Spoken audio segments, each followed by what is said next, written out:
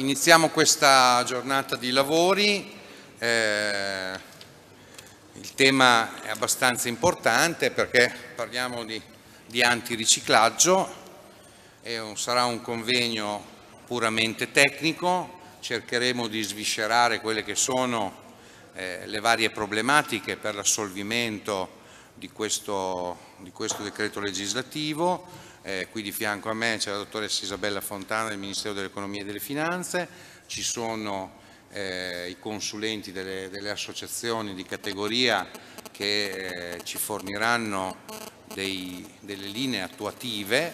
e poi ci sarà un secondo momento in cui dopo le varie relazioni eh, porremo delle domande eh, cercando sempre eh, di eh, dare risposte concrete. Chiaro che la materia è abbastanza ostica, il decreto legislativo è stato da poco emanato, quindi abbiamo poi la necessità insieme al Ministero appunto di elaborare eventualmente su domande o osservazioni che dovessero giunte, giungere delle risposte che siano confacenti diciamo, eh, eh, al diritto ma anche all'esecuzione pedissequa da parte degli agenti immobiliari. Oggi siamo ospiti della Camera di Commercio di Roma, questo convegno è stato organizzato dalla Consulta Interassociativa, da FIMA, eh, FIAI e Anama, eh, con l'ausilio di Tecnoborsa. Per questo motivo porta i propri saluti il vicepresidente della Camera di Commercio di Roma, il presidente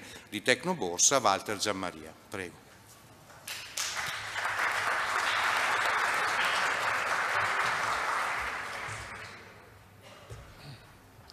Buonasera a tutti, intanto io per prima cosa vi ringrazio dell'invito, ringrazio tutti i partecipanti e ringrazio un particolare ringraziamento va ai presidenti della consulta, Paolo Righi, Santino Taverna e Paolo Bellini, per aver, per aver proposto un momento di riflessione su un tema così importante e attuale qual è l'antiriciclaggio. La Camera di Commercio di Roma con Tecno Borsa è ovvio è vicina agli imprenditori, è vicina agli imprenditori del settore immobiliare Insieme vorremmo fare moltissime cose, vorremmo risolvere alcuni problemi che mondo, questo mondo vive, però sappiamo che molte, molti problemi ci sono e molte diciamo, difficoltà pure.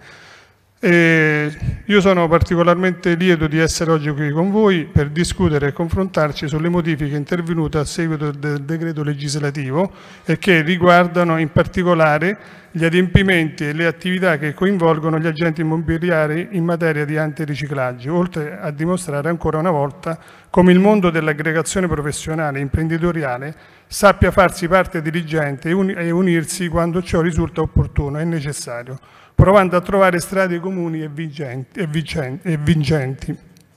La consulta interassociativa dell'intermediazione immobiliare, in collaborazione con Tecnoborsa, noi ci siamo resi disponibili su questo, ha voluto organizzare questo incontro non solo per confrontarci su una materia delicata e importante, ma anche per fornire, grazie alla presenza di autorevoli rappresentanti del MEF e della Banca d'Italia, che ringrazio per aver dato la loro disponibilità a partecipare a questo convegno e la, la loro disponibilità, un quadro completo e dettagliato degli adempimenti per gli agenti immobiliari. Una materia trattata quotidianamente dagli stessi che si fa sempre più articolata e complessa per supportare l'attività delle autorità competenti, l'Agenzia delle Entrate e la Polizia Tributaria. Ascolto spesso in qualità di Presidente di Tecnoborsa e della Borsa Immobiliare di Roma gli agenti immobiliari, ma quando ho saputo di questo momento di confronto ho ritenuto di fare un'ulteriore verifica tra i mediatori in tema dell'antiriciclaggio per capire cosa in realtà si è percepito di tale norma. È un adempimento che riscontra problematiche? Ci sono difficoltà operative? Dubbi interpretativi? È oneroso rispettare la normativa in termini economici e di tempo? Ne è emerso un quadro, semplice, ne è emerso un quadro semplice, molto articolato e spesso poco chiaro. Un disposto introdotto alcuni anni fa che ha comportato un adempimento gravoso in termini di responsabilità ma anche di risorse dedicate. Grazie ad alcune iniziative formative e informative avviate dalle associazioni di categoria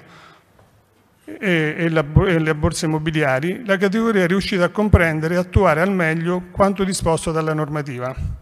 Ma oggi, con le, con le, recenti novità che hanno modificato ulteriormente le procedure, mi sono, mi sono posto un'ulteriore domanda.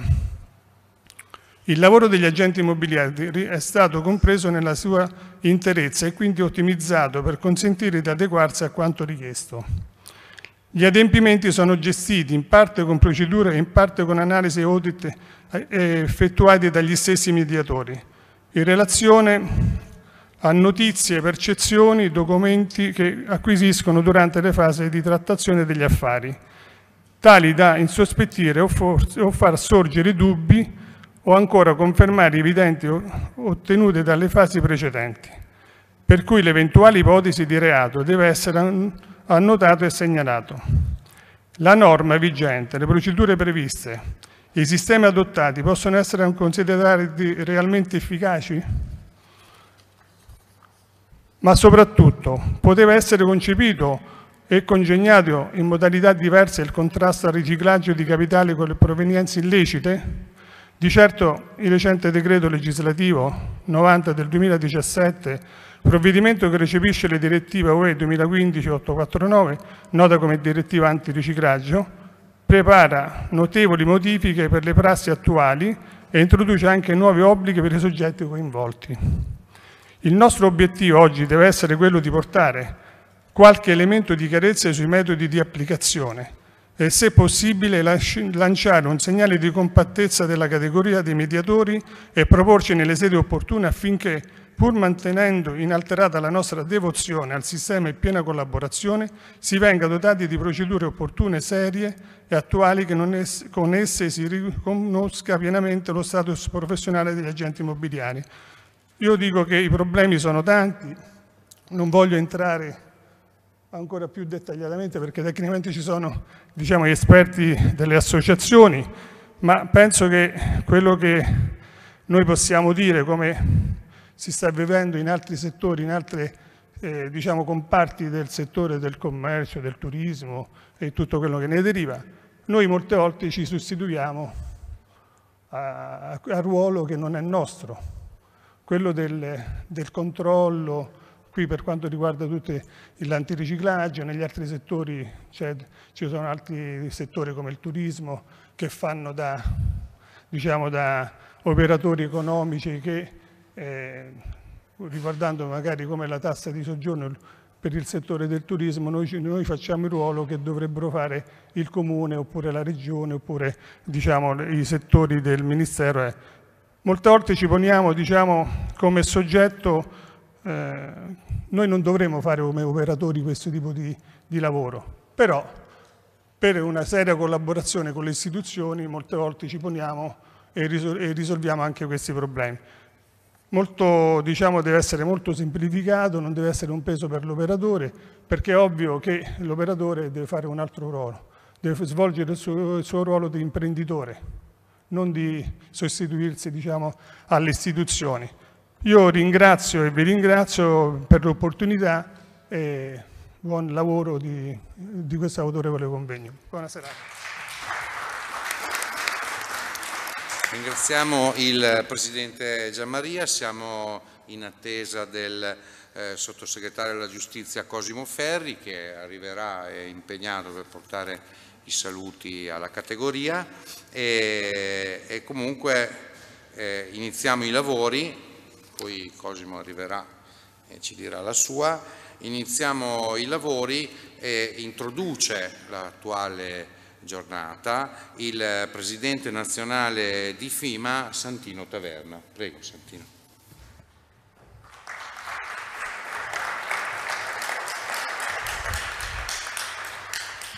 Buongiorno a tutti, grazie Paolo.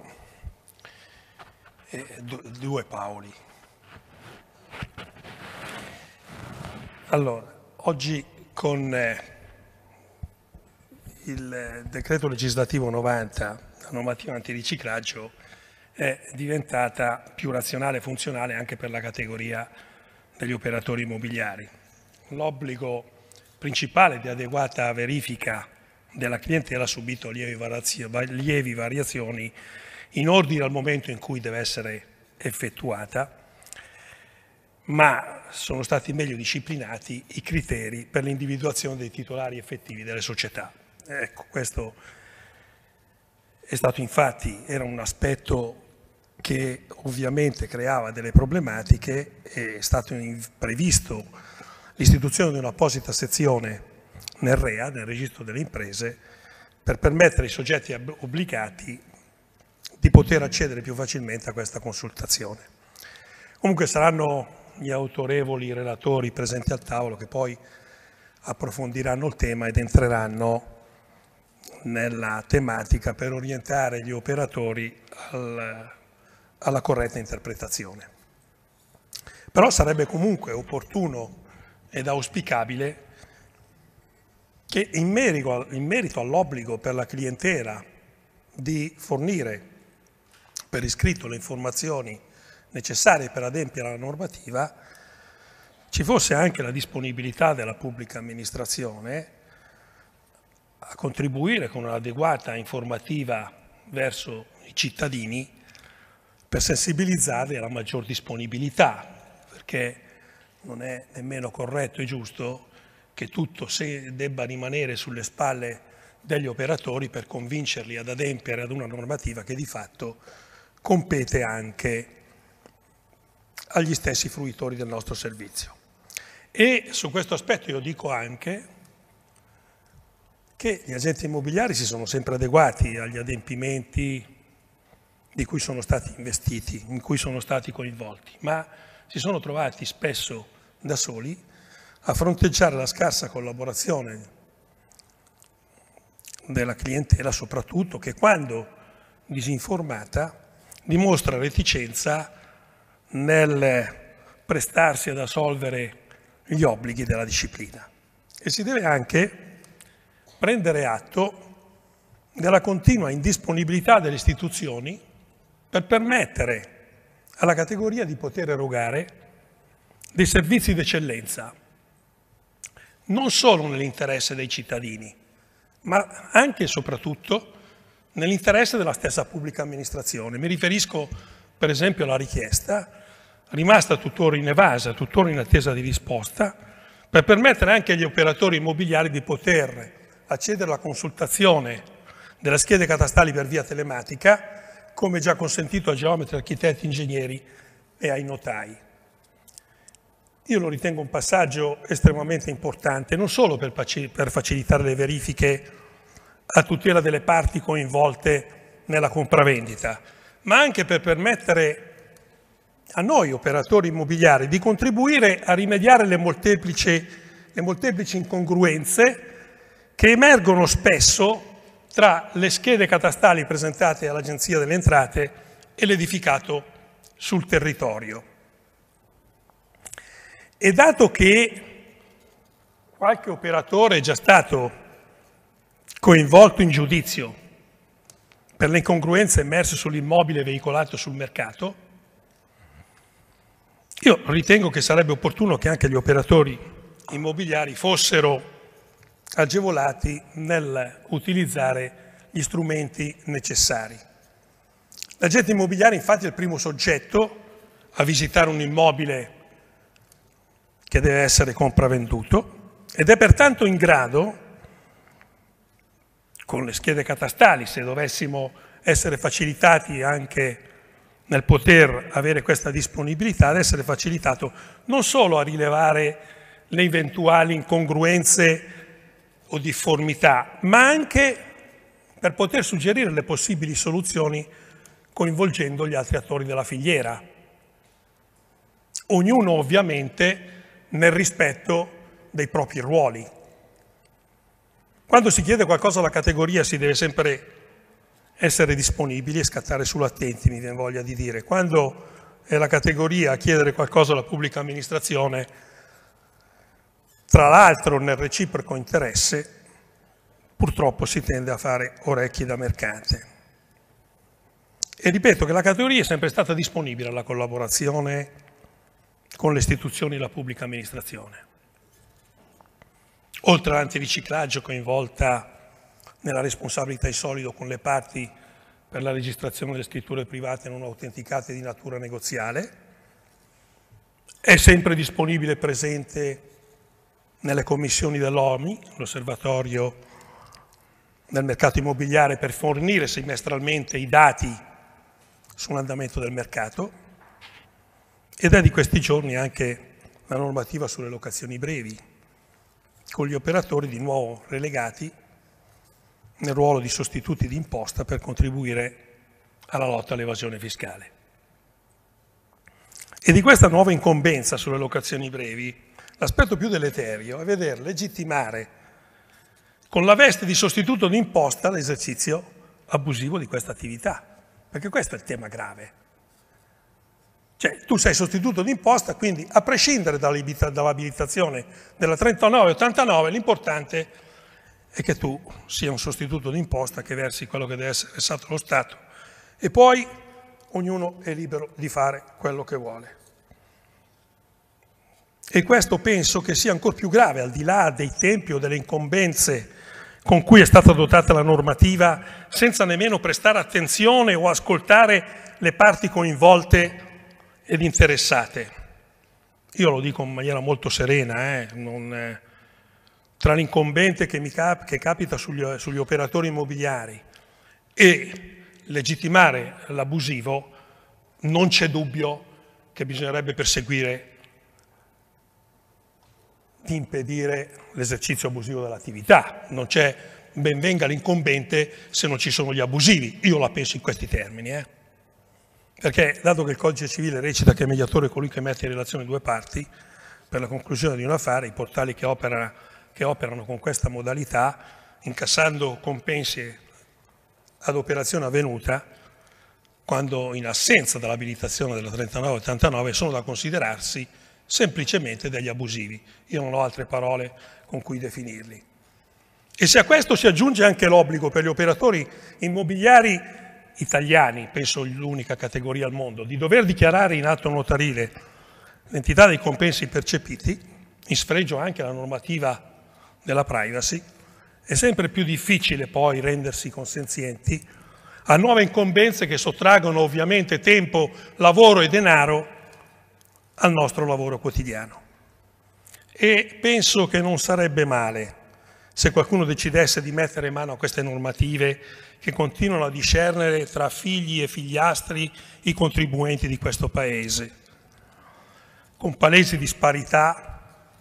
verso altri soggetti o categorie che operano in questo comparto. Perché non anche i falegnami? Perché non anche i notai? Perché non anche i piastrellisti? Allora che dichiarino anche loro i compensi in notarile come siamo obbligati noi. E penso anche che una volta dichiarato il nome dell'agente o dell'agenzia immobiliare,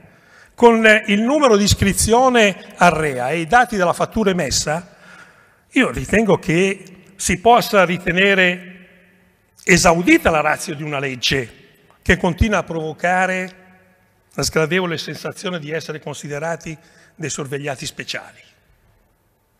Scusatemi, ma è una, un'amarezza che ogni tanto sarebbe opportuno ricordare per non farla cadere nel dimenticatoio. Io ritengo che l'agente immobiliare sia una fonte inesauribile di dati e di informazioni che altri soggetti non hanno. Ed è un vero e proprio attivatore economico-sociale che alimenta, come ha sempre fatto l'economia del Paese. È un acceleratore delle operazioni delle compravendite grazie alla propria capacità di agevolare gli scambi dei prodotti, di cui, come nessun altro, conosce i valori di mercato. Gli agenti immobiliari sono operatori in grado di stimolare, compensare ed ovviare anche le incertezze della clientela, garantendo la bontà delle operazioni nelle quali sono spesso coinvolti i risparmi e i sacrifici di una vita delle persone come nell'acquisto della casa. E in questi anni di crisi, mi permetto anche di dire che gli agenti immobiliari hanno anche contribuito a salvaguardare il valore del patrimonio immobiliare dei cittadini cercando di difendere i prezzi immobiliari dai ribassi speculativi. E sul decremento dei valori, non volevo dirlo ma la dico, la politica dovrebbe guardare anche verso chi ha erogato negli anni denaro facile senza doverne rispondere e limitare, se non impedire, ad alcuni soggetti di gerire in altri comparti dell'economia per non ritrovarsi poi un'altra volta con altri conti da pagare sulle spalle della collettività. Nel corso del 2016, perché non è ancora finito, siamo in una fase di ripresa, ma gli effetti di questa crisi si sentono ancora, perché nel corso del 2016 sono state più di 260.000 le sedute d'asta, le sedute d'asta giudiziarie per crediti concessi su immobili poi andati in default. Ed è un'onda lunga questa, senza toccare il discorso degli NPL che arriveranno sul mercato. Circa 70.000 immobili si parla aggiudicati nel corso del 2016 alle aste giudiziarie. È vero che si tratta comunque di compravendite, eh? ma bisogna anche dire però che non è certo tramite queste procedure che si può contribuire alla stabilizzazione dei prezzi. E io chiudo con l'invito per gli operatori di perseguire come primo obiettivo il consenso dei consumatori, un fattore indispensabile per le sorti di questa attività, dico io. I fruitori del servizio sono la prima vera ricchezza di ogni operatore e in questa proiezione è necessario che tutti, nessuno escluso, operino in questa direzione per tutelare la categoria e permettere alla stessa di interagire in quote maggiori di mercato. Non dimentichiamo che nell'interazione sempre, rimaniamo sempre fanalino di coda dell'Europa. Serve non solo per il futuro della della professione, ma è altrettanto importante per amplificare la voce della categoria nel rapporto con le istituzioni e la pubblica amministrazione. Gli agenti immobiliari sono soggetti indispensabili per la funzionalità del mercato e nell'attesa che la politica possa dedicare un briciolo d'attenzione in più anche verso questa categoria, senza caricarla di ulteriori incombenze, continuiamo a cercare di contribuire alla ripresa di un settore capace di produrre il 20% del PIL italiano. Anche questo potrebbe permettere alla categoria di riappropriarsi della dignità che questa attività si merita. Grazie per l'attenzione.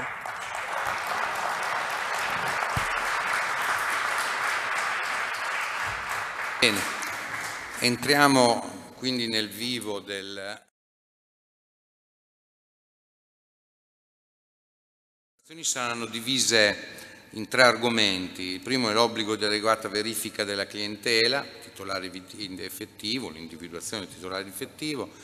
Il secondo argomento sarà quello degli obblighi di conservazione e segnalazione e poi eh, l'Avvocato Mammani ci parlerà dell'obbligo di astensione e del sistema sanzionatorio. Quindi saranno relazioni abbastanza brevi di 10-12 minuti, quindi invito i relatori a essere abbastanza sintetici e eh, successivamente poi eventualmente prendete nota se avrete delle domande alla fine delle varie relazioni poi potremmo ricevere appunto le vostre domande e farle ai nostri consulenti. Quindi l'Avvocato Corvi sul tema numero uno, prego.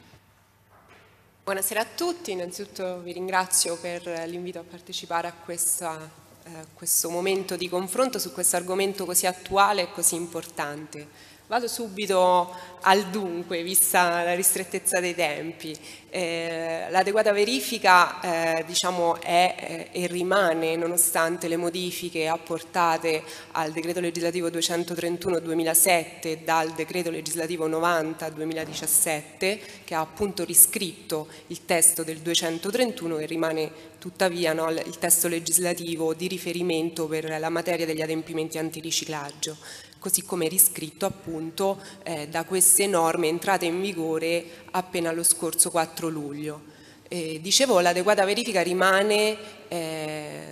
tanto più con l'abrogazione dell'obbligo di registrazione a cui si è già fatto cenno e di cui parleranno poi più compiutamente gli altri colleghi,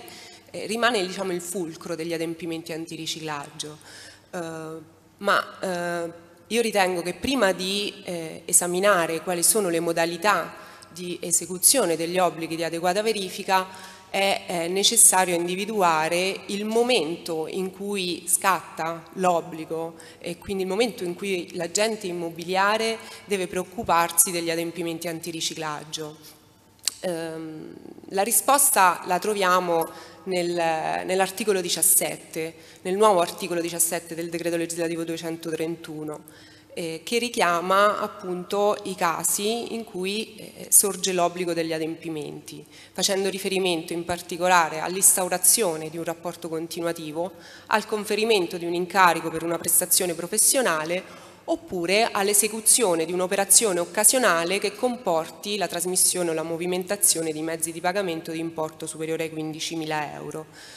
Uh, ora il primo problema che si pone è quello di andare quindi a qualificare l'attività dell'agente immobiliare, ad inserire l'attività dell'agente immobiliare in una di queste categorie, eh, prestazione professionale, rapporto continuativo, operazione occasionale. Diciamo che è abbastanza pacifico che l'attività del, dell'agente immobiliare possa essere qualificata come un'operazione eh, occasionale. Eh, tuttavia le nuove eh, norme, il nuovo articolo 17 eh, fa esplicito riferimento all'obbligo degli adempimenti e dice eh, prima dell'esecuzione dell'operazione occasionale quindi si pone il problema di individuare qual è il momento eh, in cui effettuare gli adempimenti, il momento in cui ricevo l'incarico dai clienti, parte venditrice, parte acquirente, ovvero il momento in cui eh, si conclude l'operazione. Tanto più questo eh, problema diciamo, eh, sorge se eh, facciamo riferimento alle indicazioni che erano state date nella vigenza della precedente normativa, in, particola in particolare eh, con dei provvedimenti proprio ministeriali, faccio riferimento al decreto ministeriale 143 del 2006, e a dei chiarimenti dell'allora Ufficio Italiani Cambi, secondo i quali gli obblighi degli adempimenti antiriciclaggio eh, si applicavano soltanto laddove vi fosse stata la conclusione di un contratto eh, preliminare o in mancanza definitivo o quantomeno accettazione della, della, proposta. Eh, su questo tema io ehm, chiederò anche eh, diciamo, chiarimenti al Ministero, alla dottoressa Fontana, sicuramente eh, potrà esserci di aiuto capire, per capire appunto eh, come individuare il momento in cui eh, preoccuparci quindi dell'adeguata verifica.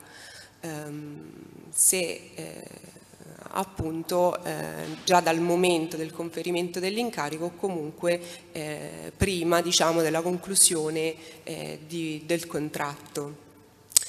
Oh, venendo a quelli che sono eh, gli, il contenuto degli obblighi di adeguata verifica, ehm, il nuovo articolo 18 eh, elenca appunto eh, gli step diciamo, dell'adeguata verifica. Primo tra tutti ovviamente l'identificazione e la verifica dell'identità del cliente eh, identificazione che deve essere fatta mediante eh, un valido documento di identità o altro documento di riconoscimento equipollente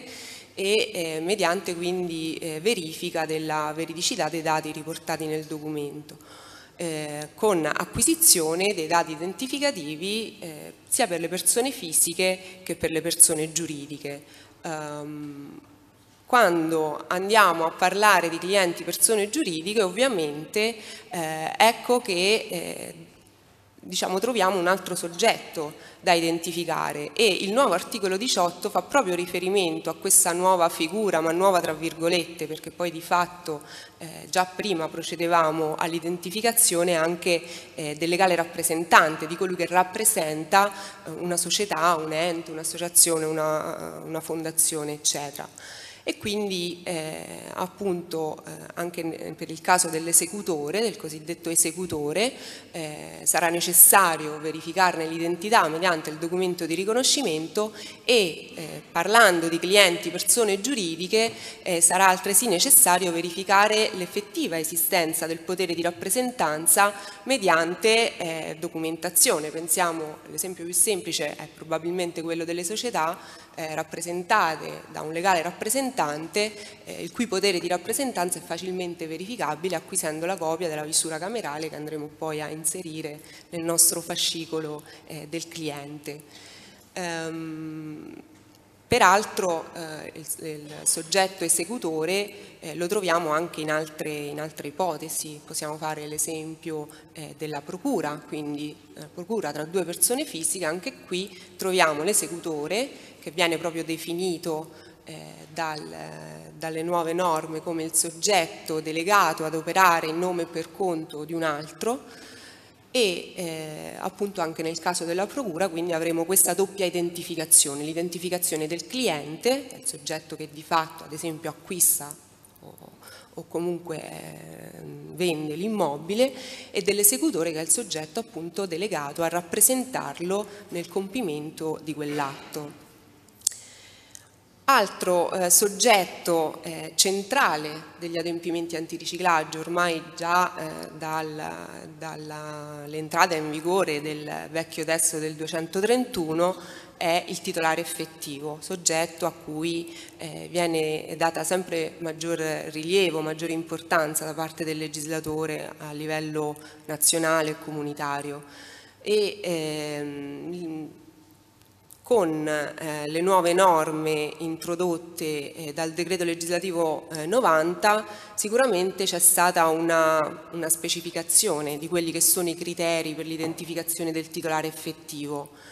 Eh, la definizione di titolare effettivo la troviamo oggi nel nuovo articolo 20 del decreto legislativo 231 e viene eh, definito come ehm, la persona fisica o le persone fisiche che in ultima istanza, dice la norma,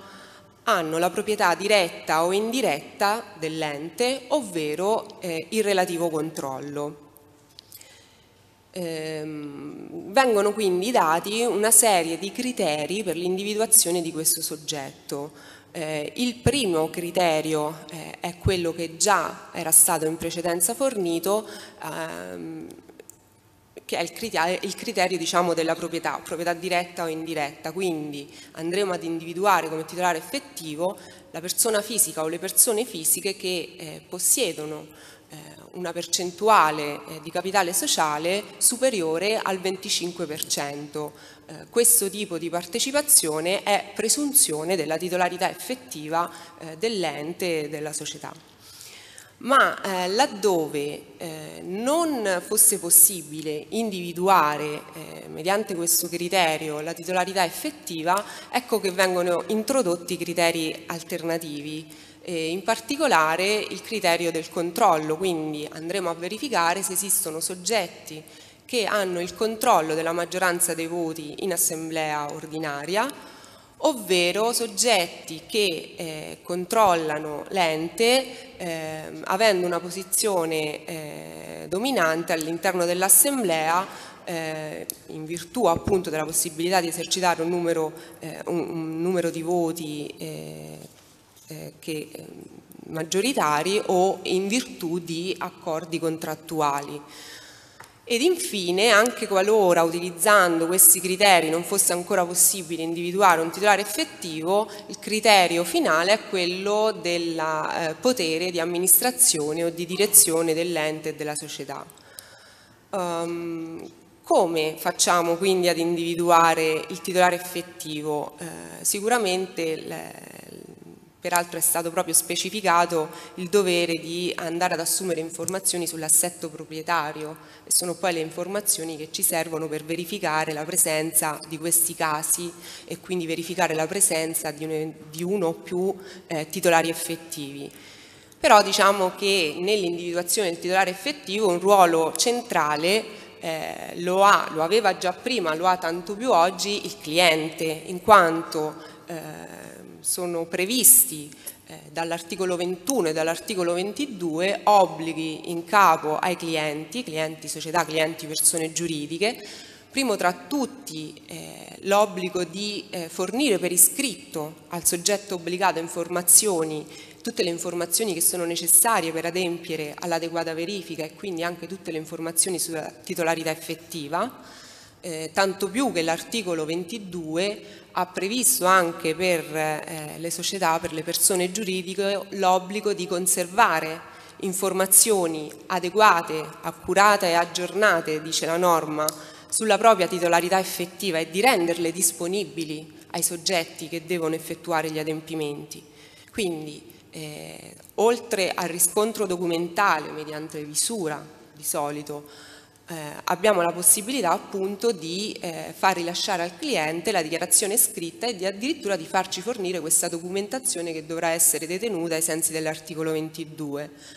ma eh, ulteriore diciamo, eh, facilitazione nell'individuazione di titolari effettivi sarà la possibilità di consultare eh, una sezione speciale del registro delle imprese all'interno della quale eh, le società e le persone giuridiche private dovranno eh, comunicare eh, tutte le informazioni sui propri titolari effettivi.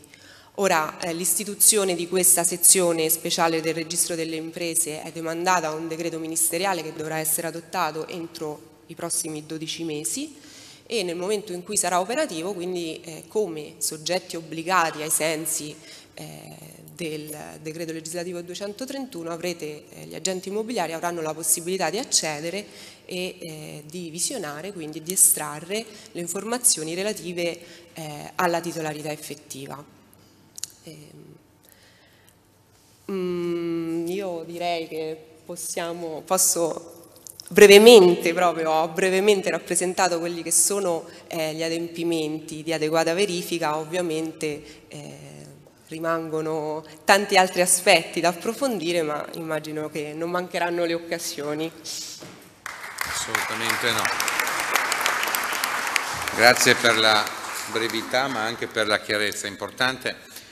durante questi convegni proprio eh, arrivare no, alla, alla, alla, sintesi massima per permettere a tutti poi di comprendere e eventualmente porre delle domande. Eh, naturalmente eh, poi questo convegno nelle parti tecniche sarà, eh, è registrato oltre che in streaming, anche saluto tutti i colleghi, sono tanti mi dicono che sono collegati con noi, poi eh, le tre eh, associazioni naturalmente metteranno online eh, questo, questo, questo convegno in modo che gli interventi possano essere diffusi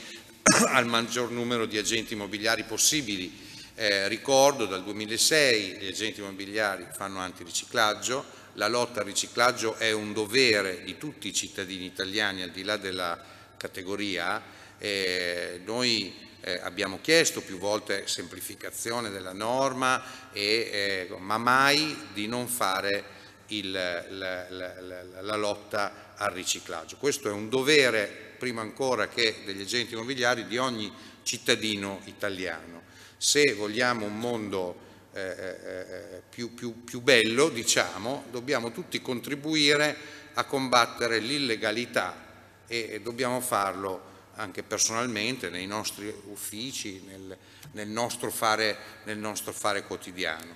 Dicevo appunto che eh, eh, le associazioni di categoria più volte hanno chiesto un, eh, una semplificazione e se da un lato abbiamo visto cambiano eh, le normative per eh, diciamo, l'individuazione del titolare effettivo, insomma viene rafforzata un po' questa, questa fase, dall'altra parte eh, eh, il Ministero eh, ha ascoltato quello che la consulta ha chiesto, eh, che era quello di eh, togliere un po' quel discorso annoso delle registrazioni, dei problemi che c'erano anche in relazione poi a maxi multe che sono arrivate in, in, in, questi anni, chi 5 milioni, chi 6 milioni, chi 4 milioni di euro e eh, proprio su questo tema, eh, cioè degli obblighi di conservazione e di segnalazione, eh, eh, ci parla appunto Maria Vitale, l'avvocato Maria Vitale. Prego. Grazie Presidente, grazie a tutti gli intervenuti, anche a chi ci sta guardando in streaming. Come anticipato dal, dal Presidente Righi, io mi occuperò eh, di questa um, fase ulteriore eh, che ehm, evidenzia una prima novità fondamentale che è quella appunto dell'abrogazione dell'obbligo di registrazione. Sappiamo che in base al precedente decreto legislativo, il 231 del 2007, gli articoli 36 e seguenti prevedevano a carico degli agenti immobiliari l'obbligo di dover registrare tutti i dati, oltre e quindi ehm, insieme all'obbligo di conservare dati e informazioni che si acquisivano. Eh, questo obbligo è stato abrogato, quindi è stata recepita in questa parte la direttiva comunitaria che invitava l'Italia ad uniformarsi agli standard europei anche per rendere più competitiva l'attività dell'agente immobiliare italiano rispetto a quello di qualunque altro Stato membro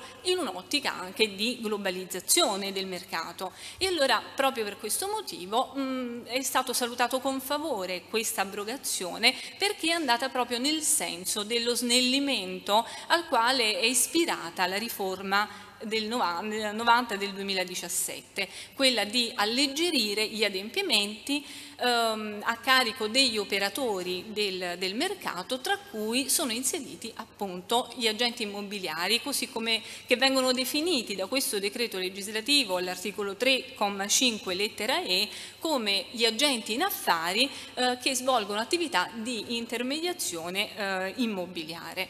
Um, quindi tra i soggetti obbligati uh, alla, uh, a tutti gli obblighi che però sono previsti dalla normativa dell'antiriciclaggio, uh, escluso ormai, accantonato ormai l'obbligo di registrazione, vi sono gli obblighi di conservazione. Quindi sono mh, rimasti gli obblighi di conservazione perché mi riallaccio a quello che è stato detto poc'anzi dal Presidente Righi ed anche prima dal Presidente Gianmaria. Um, c'è un fil rouge che unisce la normativa uh, in materia di antiriciclaggio, che è quella ispirata alla collaborazione, una collaborazione che è richiesta a tutti i livelli, sia, sia a livello personale, va bene come cittadini, ma a tutti gli operatori del mercato che per qualunque motivo vengono a conoscenza di dati, di informazioni o di documenti che in qualche modo possono essere utilizzati dalle autorità competenti, dalla, uh, dall'unità di informazione finanziaria presso la Banca d'Italia, ma anche da tutte le altre autorità competenti,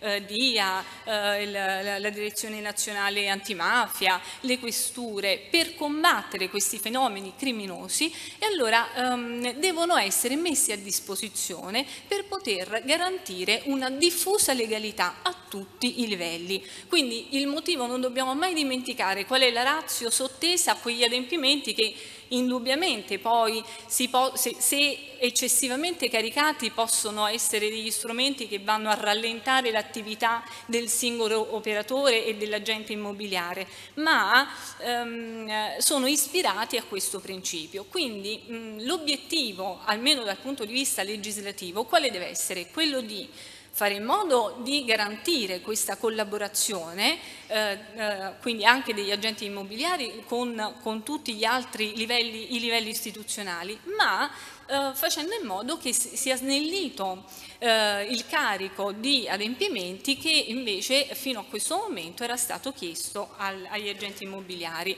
Quindi ehm, obbligo di conservazione di che cosa? Cos'è che gli agenti immobiliari sono obbligati a conservare? Um, con un'espressione ampia, l'articolo 32, il nuovo, il, il nuovo, articolo 31 del, del decreto legislativo parla di um, eh, della copia dei documenti che, eh, identificativi del cliente, del titolare effettivo di cui si viene, che si acquisiscono al momento dell'adeguata verifica della clientela, ma anche dell'originale e eh, delle scritture che mh, abbiano un'efficacia probatoria ai sensi di legge di tutte quelle altre eh, documenti che riguardano l'operazione. È un'espressione mm, un po' ambigua che può dire tutto e può dire nulla. Certamente penso che siamo tutti d'accordo nel dire che i documenti che vanno conservati, l'agente immobiliare un, ha un ruolo che è diverso da quello del notaio. Non si può chiedere all'agente immobiliare di eh, eh, conservare le copie autentiche oppure gli originali degli atti, eh, degli atti di compravendita o degli atti che riguardano l'operazione. Quindi siamo tutti d'accordo nell'interpretare questa disposizione in un senso più snello, nel senso che sicuramente vanno, eh, va mh, conservato sul, con il cartaceo tutta la documentazione che, vie, che, deve essere acquisita, quindi per esempio eh, il documento del conferimento dell'incarico oppure la dichiarazione di qual è il titolare effettivo, mh, anche in copia perché comunque una copia eh, finché non viene disconosciuta sul piano probatorio a livello giudiziario comunque ha il suo valore. Mm, se invece del documento cartaceo si utilizza come eh, forse è sempre più auspicabile eh, eh, così invitare l'elemento, cioè lo strumento informatico e quindi si mm, procede alla conservazione del documento con archivi informatizzati, eh, allora potrebbe essere ehm, quell'espressione eh, conservazione delle scritture aventi efficacia probatoria probabilmente potrebbe essere conservata secondo la normativa della ehm, conservazione dei documenti informatici tramite firma digitale in modo tale che si dà una certezza anche del momento del, dell'acquisizione. Um, quindi in, in, buona sostanza tutti i documenti che vanno um, conservati sono quei documenti che contengono loro, uh, proprio dal punto di vista materiale, gli elementi che poi possono servire a chi? All'unità di informazione finanziaria, al, um, ai, alle altre autorità competenti uh, per combattere e contrastare il, il, fenomeno del riciclaggio e del, del finanziamento del terrorismo. Quindi, i documenti che contengono i dati identificativi del cliente, del titolare effettivo e dell'esecutore, la data del conferimento dell'incarico oppure dell'inizio, se il rapporto è continuativo, dell'inizio del rapporto continuativo, questi sono gli elementi soggettivi. Gli elementi oggettivi, quelli che riguardano l'operazione, la natura, lo scopo dell'operazione. Ovviamente se parliamo di agenti immobiliari, parliamo di uh, atti di compravendita, l'importo dell'operazione, la causale, eh, quindi sono tutti i documenti che possono contenere questi elementi vanno conservati. Allo Stato il eh, legislatore ritiene conforme alla normativa la conservazione del documento cartaceo della,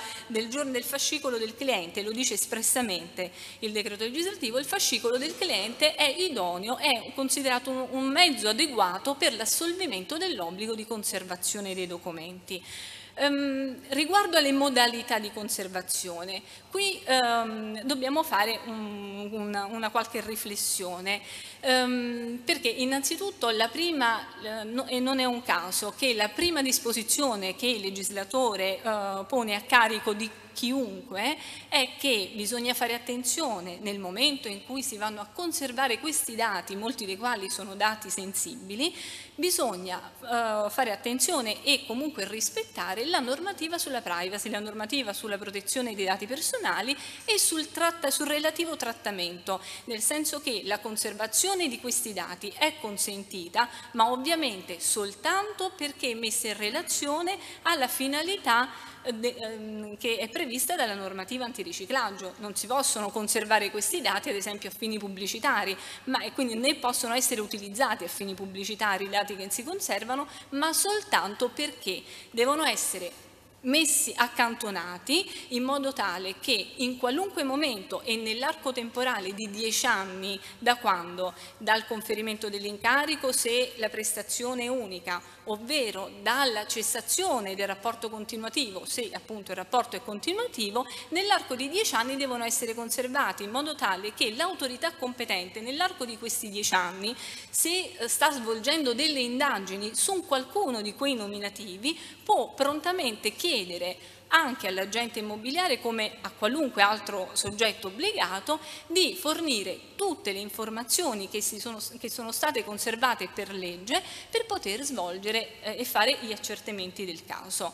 Quindi mm, eh, per dieci anni vanno conservati questi, eh, questi, dati, queste informazioni e queste eh, scritture, però mm, il legislatore richiede anche delle ehm, specifiche mh, uh, diciamo, peculiarità nella, da, da, seguire nella modalità di conservazione perché chiede che lascia liberi, lascia liberi gli operatori del, del, del, di mercato di utilizzare qualunque modo di conservazione, non è più previsto come obbligatorio, l'abbiamo già detto, l'archivio unico informatico, quindi è possibile la conservazione cartacea, così come è consentita eh, l'utilizzo di archivi informatici o comunque informatizzati. Ehm, è necessario però che venga garantita la eh, non alterità dei dati, cioè i dati devono rimanere immutabili dopo l'acquisizione, non, non, devono essere eh, utilizzate modalità attraverso le quali sia possibile poter intervenire e magari modificare la data del, del, dell'operazione, che è uno dei dati che devono essere, che devono essere indicati. È necessario che eh, venga garantita una facile accessibilità a chi? Alle autorità competenti. In qualunque qualunque momento e nell'arco dei famosi dieci anni l'unità di informazione eh, finanziaria deve poter accedere a questi dati in maniera semplice, non in maniera farraginosa. Così come quando è che sorge l'obbligo di conservazione? L'obbligo di conservazione sorge nel, non uh, ad libitum, a piacimento dell'operatore, ma uh, l'obbligo di conservazione deve essere assolto entro 30 giorni o dall'inizio del uh, rapporto continuativo ovvero dal conferimento dell'incarico. Ancora, è necessario che, questi, mm, eh, che dei dati che sono stati conservati, le, informazioni che sono state conservate, venga garantita la storicità. Bisogna fare in modo eh, quindi che tutte le informazioni siano complete, trasparenti e ci sia chiarezza anche sul momento storico in cui in cui vengono acquisite. Ora, ehm, abbiamo detto quindi che eh, il, il, legislatore lascia liberi eh, gli operatori di scegliere se eh, utilizzare lo strumento cartaceo ovvero lo strumento informatico, però il quesito è è è adeguato lo strumento cartaceo? Questo mi rivolgo magari anche al Ministero e comunque insomma è una, una questione da, da, da, discutere e da dibattere. Comunque lo strumento cartaceo è davvero idoneo um, per sua stessa natura a garantire tutte queste caratteristiche, cioè nel momento in cui da un lato lascia liberi il legislatore di utilizzare l'una o l'altra strada, ma dall'altro lato chiede una serie specifica così dettagliata di um, modalità di uh, conservazione, allora dobbiamo anche porci il problema se um, nel momento in cui si conserva sul piano cartaceo poi non posso essere esposto in un secondo momento um, per deterioramento del, del documento perché il documento cartaceo si deteriora molto di più eh, chiaramente che non del dato informatizzato e che è in un archivio informatizzato. Ma su questo diciamo, è, mh, è un punto mh, insomma, che va un attimo eh, discusso, eventualmente eh, vediamo poi che risposte ci possono essere. E, oltre all'obbligo di conservazione, l'altro obbligo che grava sui, eh, sugli agenti immobiliari, su tutti gli obbligati, eh, è quello di segnalazione. Ora, l'obbligo di segnalazione quando è che sorge? La segnalazione va fatta prima che si proceda all'operazione quindi eh, quando si ha anche solo il sospetto che l'operazione che si sta per concludere possa essere in qualche modo ehm, avvicinata o comunque possa essere espressione del fenomeno di riciclaggio o di ehm, eh, finanziamento al terrorismo. Il sospetto quando è che deve sorgere, quando può sorgere? Ci sono del, degli indici, cioè dei parametri ai quali l'agente immobiliare, eh, eh, così come qualunque segnalante, si può, si può rivolgere. E eh, chiaramente gli elementi sono sia, come al solito, soggettivi che oggettivi. Cioè bisogna aver riguardo innanzitutto al cliente. Chi è che sta compiendo l'operazione? Se si tratta di un soggetto che per contiguità familiare o per abituale convivenza, oppure perché um, anche, anche, una contiguità lavorativa,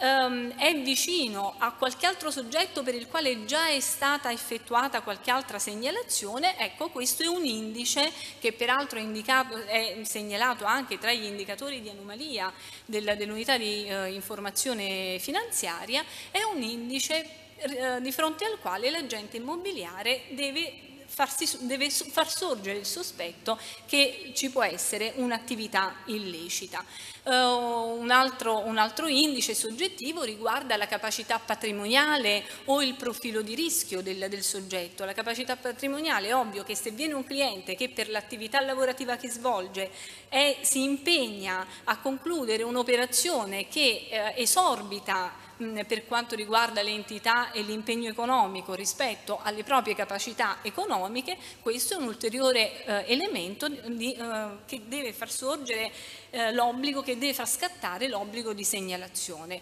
Altri elementi, altri parametri sono di natura oggettiva, bisogna guardare l'operazione che si sta mh, ponendo, ponendo in essere, quindi la natura, lo scopo, le caratteristiche e bisogna considerare l'operazione nella sua interezza, cioè è ben possibile che ci possano essere mh, operazioni che vengono frazionate, per cui eh, l'operatore di mercato deve tener conto del collegamento che ci può essere tra più operazioni. In quel caso ovviamente scatta l'obbligo di segnalazione. Mm, ho detto che bisogna fare la segnalazione prima, quando si ha il sospetto, quindi prima di compiere l'operazione. Tant'è vero che la UIF mm, l'unità di informazione finanziaria potrebbe intervenire una volta scattata la segnalazione che va all'unità di informazione finanziaria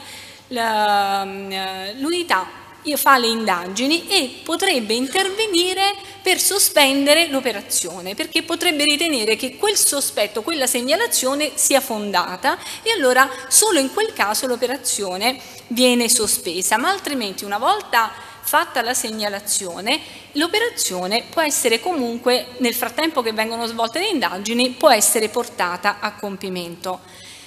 Un, ci sono dei casi eccezionali in cui eh, la segnalazione può essere fatta successivamente alla conclusione dell'operazione e sono i casi in cui o c'è una norma di legge che impone di ricevere ehm, l'atto obbligatoriamente, oppure per la natura dell'operazione stessa non è possibile procrastinarlo, oppure quando il differimento potrebbe andare ad ostacolare le indagini delle autorità competenti, perché sospendendo magari o interrompendo o non portando a compimento l'operazione, ehm, l'autore del, dell'attività criminosa potrebbe allarmarsi e quindi magari l'indagine potrebbe essere bloccata.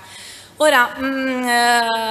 mm, tutte queste segnalazioni um, in che modo possono essere uh, effettuate? Uh, per ogni categoria ci sono delle modalità. Una particolarità che abbiamo avuto modo di uh, constatare un po' anche con i colleghi è che sicuramente per una mera svista, nell'articolo 36 che parla delle modalità di esecuzione della, della, della segnalazione non sono, no, non sono, menzionati gli agenti eh, immobiliari. Ovviamente si tratta di una lacuna, evidentemente, perché gli agenti immobiliari sono inseriti tra i soggetti obbligati, nelle modalità di esecuzione non viene specificato come devono fare la segnalazione. Nel voto normativo, ovviamente, cosa, ehm, come va riempito questo voto normativo? Con la procedura procedura attualmente esistente, anche perché dobbiamo ricordare che il decreto legislativo 90 del 2017 va a modificare, ma non ad abrogare del tutto, va a modificare in parte qua il decreto legislativo precedente 231 del 2007. Quindi laddove non ci sono delle novità o ci sono delle lacune bisogna integrarlo con la procedura esistente. Qual è la procedura esistente?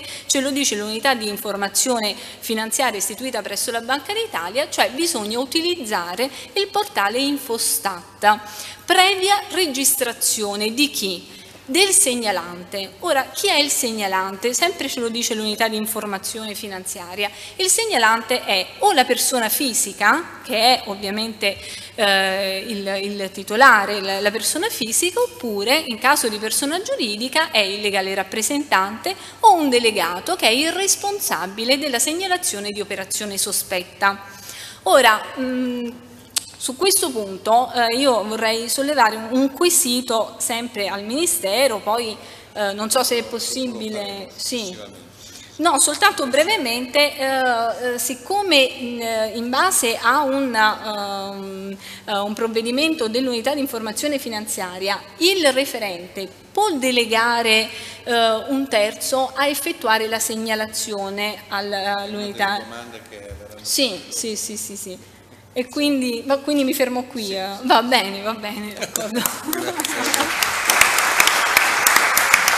Una delle domande che, che, faremo dopo, anche nel senso di, di, di, di fare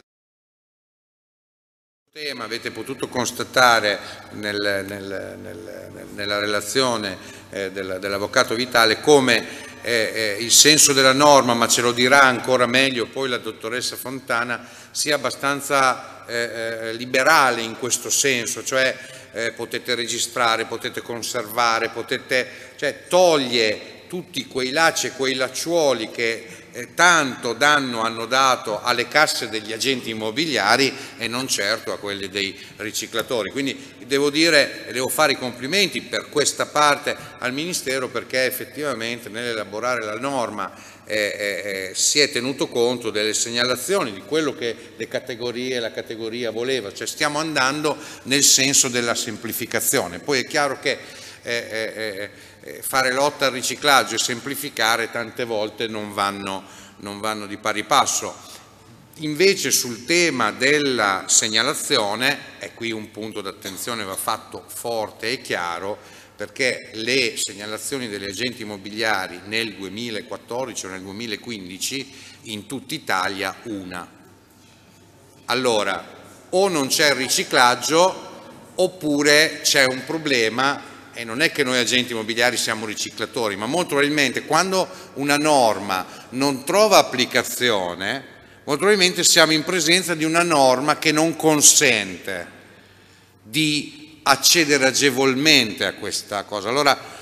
la richiesta che eh, avanzeremo dopo questo convegno è proprio quello di rendere più fruibile la parte della segnalazione. E, e, ecco, un episodio eh, a Reggio Emilia adesso c'è un processo in corso, il famoso processo a Emilia, no? eh, che vede imputati 350 persone, un po' delle endrine calabresi, ma anche degli emiliani e così via. Bene, tut, tutto questo scandalo, questa infiltrazione mafiosa a Reggio Emilia è tutta nell'edilizia e non c'è stata una segnalazione antiriciclaggio da parte di nessuno. Allora vuol dire Possiamo credere che tutti i cittadini di Reggio Emilia, l'amministrazione pubblica e quant'altro siano, siano conniventi? No, non lo possiamo credere. Quindi su questo tema c'è ancora tanto da lavorare per rendere agevole eh, eh, la segnalazione, che è poi il punto di arrivo di tutta l'attività antiriciclaggio che noi facciamo. Cioè lo scopo di questa norma è beccare i malafitosi eh, e quindi sulla segnalazione secondo me c'è tanto tanto da fare. Ehm, con piacere eh, vi, vi, vi, dico che eh, è arrivato il, il, un amico della categoria degli agenti immobiliari, è un'istituzione di questo Paese e del Governo, il sottosegretario alla giustizia eh, Cosimo Ferri, che invito a portarci un saluto. Grazie. Buon pomeriggio, sono io che ringrazio voi e ringrazio le tre associazioni che organizzano questo incontro, quindi i tre presidenti, ma tutti gli associati, la FIMA, eh, tra l'altro ero accanto proprio al vicepresidente, la FIAIP, l'amico Righi che mi coinvolge sempre, mi invita e lo ringrazio, tra l'altro anche il, il ruolo di coordinatore delle eh, delle tre associazioni dal punto di vista organizzativo e la NAMA, quindi ringrazio questi tre soggetti, eh, i presidenti e tutti voi, perché ehm, devo dire è una normativa nuova, ho ascoltato l'intervento che mi ha preceduto e mh, chiaramente in tutti voi operatori eh, c'è qualche preoccupazione, però vorrei cercare intanto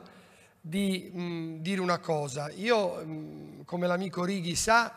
eh, la mia esperienza è quella di magistrato, quindi eh, la mia professione è quella e devo dire che quando un professionista come voi, eh, l'agente immobiliare, chi fa attività eh, sul territorio, eh, è professionale, è capace, è preparato, è davvero di aiuto nella lotta alla legalità ed è questo il senso anche di queste normative. Si diceva no, ma eh, le segnalazioni poi ce ne sono poche, ce n'è stata una, se andiamo a vedere anche nell'anno passato eh, le sanzioni che poi sono state date, perché la normativa c'era già, seppur diversa, sono 197 quindi, all'anno, quindi sono temi che ci si dice ma o non succede niente, che è tutto regolare, oppure forse occorre un cambio culturale e cambiare questo. Quindi il primo messaggio che voglio dare, il senso è insieme dobbiamo dare un cambio culturale. Io lo dico sempre anche quando la FIAP mi invita, ma ci credo veramente. Quando l'agente immobiliare lavora bene e le due parti si incontrano e formate l'accordo tra due parti contrattuali, si crea meno contenzioso. Perché se il contratto di locazione o il contratto di compravendita, se le clausole inserite, se eh, tutta quella serie di adempimenti o la differenza tra opere di ordinaria o straordinaria manutenzione, e tutte quelle regole che voi conoscete meglio di me, sono ben definite, quando il, il, rapporto contrattuale, il consenso si forma con regolarità, con chiarezza, è chiaro che non si crea contenzioso. E questo è un punto. Oggi parliamo però di antiriciclaggio ed è un modo per coinvolgere il professionista, che possono essere di vario tipo, dal notaio al commercialista, all'agente immobiliare, a chi gestisce crediti, nel dire anche tu fai parte eh, dal punto di vista istituzionale e nella lotta eh, contro il riciclaggio come eh, paladino e come persona che comunque eh, se, eh,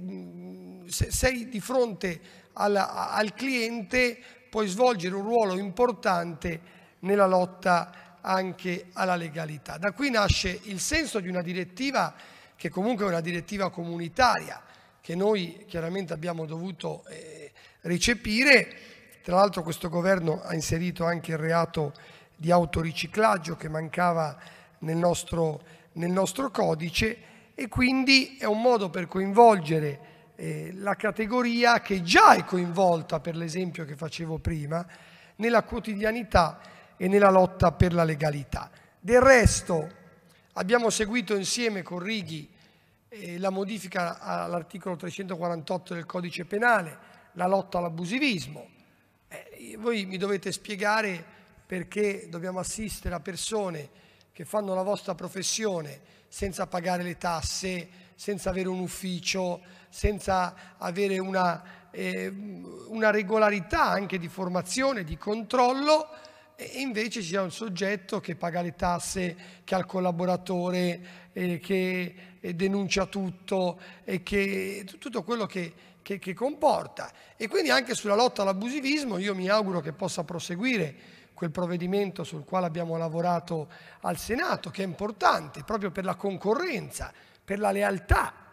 per la lotta contro l'illegalità, perché anche questa è una forma eh, di illegalità. Troppo facile eh, vendere un immobile e, e, trovare due al bar senza nemmeno eh, avere tutta quell'iter procedurale e di, ehm, e di, norme non solo fiscali ma anche eh, altre norme che devono essere rispettate. Quindi questo è importante. Inoltre e lo dicevo già in un convegno che abbiamo fatto alla Spezia le voglio ridire, visto che io oggi ricopro l'incarico di sottosegretario al Ministero della Giustizia, e stiamo noi anche eh, dal punto di vista tecnologico e informatico cambiando un po' anche il sistema delle vendite degli immobili. Noi abbiamo fatto tutta una serie di legislazione guardando a tutelare il diritto di credito, perché se in questo Paese noi muoviamo, tuteliamo il credito, eh, il cittadino investirà, perché se io ho un credito e so che il mio debitore non mi paga, che in tempi brevi potrò ottenere eh, la tutela al mio diritto, è chiaro che sono più tranquillo nell'investire. E questo lo guarda non solo la, le persone che vivono nel nostro paese, ma anche gli investitori esteri. Quindi anche sulle vendite, e lo dico a tanti di voi che sono operatori del mestiere, da ieri è partito il portale delle vendite pubbliche, dove noi invitiamo tutti i giudici delegati, tutti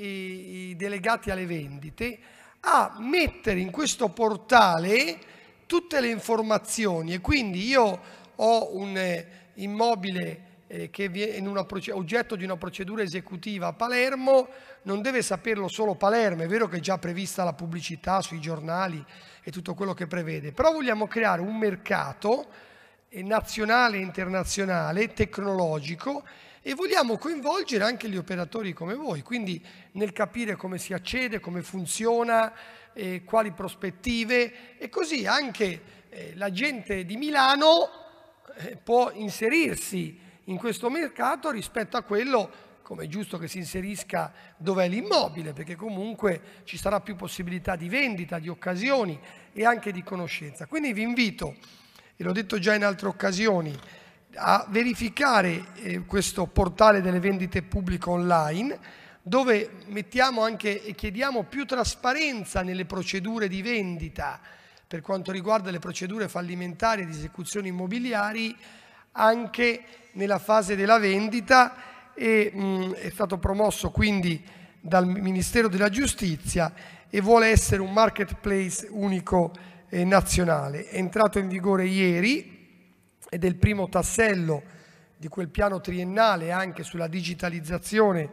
che stiamo eh, introducendo al Ministero della Giustizia ed è molto tecnologico ma nello stesso tempo vuole eh, generare un cambio di prospettiva per accelerare le procedure, perché in molti tribunali sono veloci, in altri sono lenti e si blocca anche il, il mercato. Quindi vogliamo che in questo portale siano pubblicati e messi in vendita i beni mobili e immobili, oggetto di tutte le procedure fallimentari ed esecutive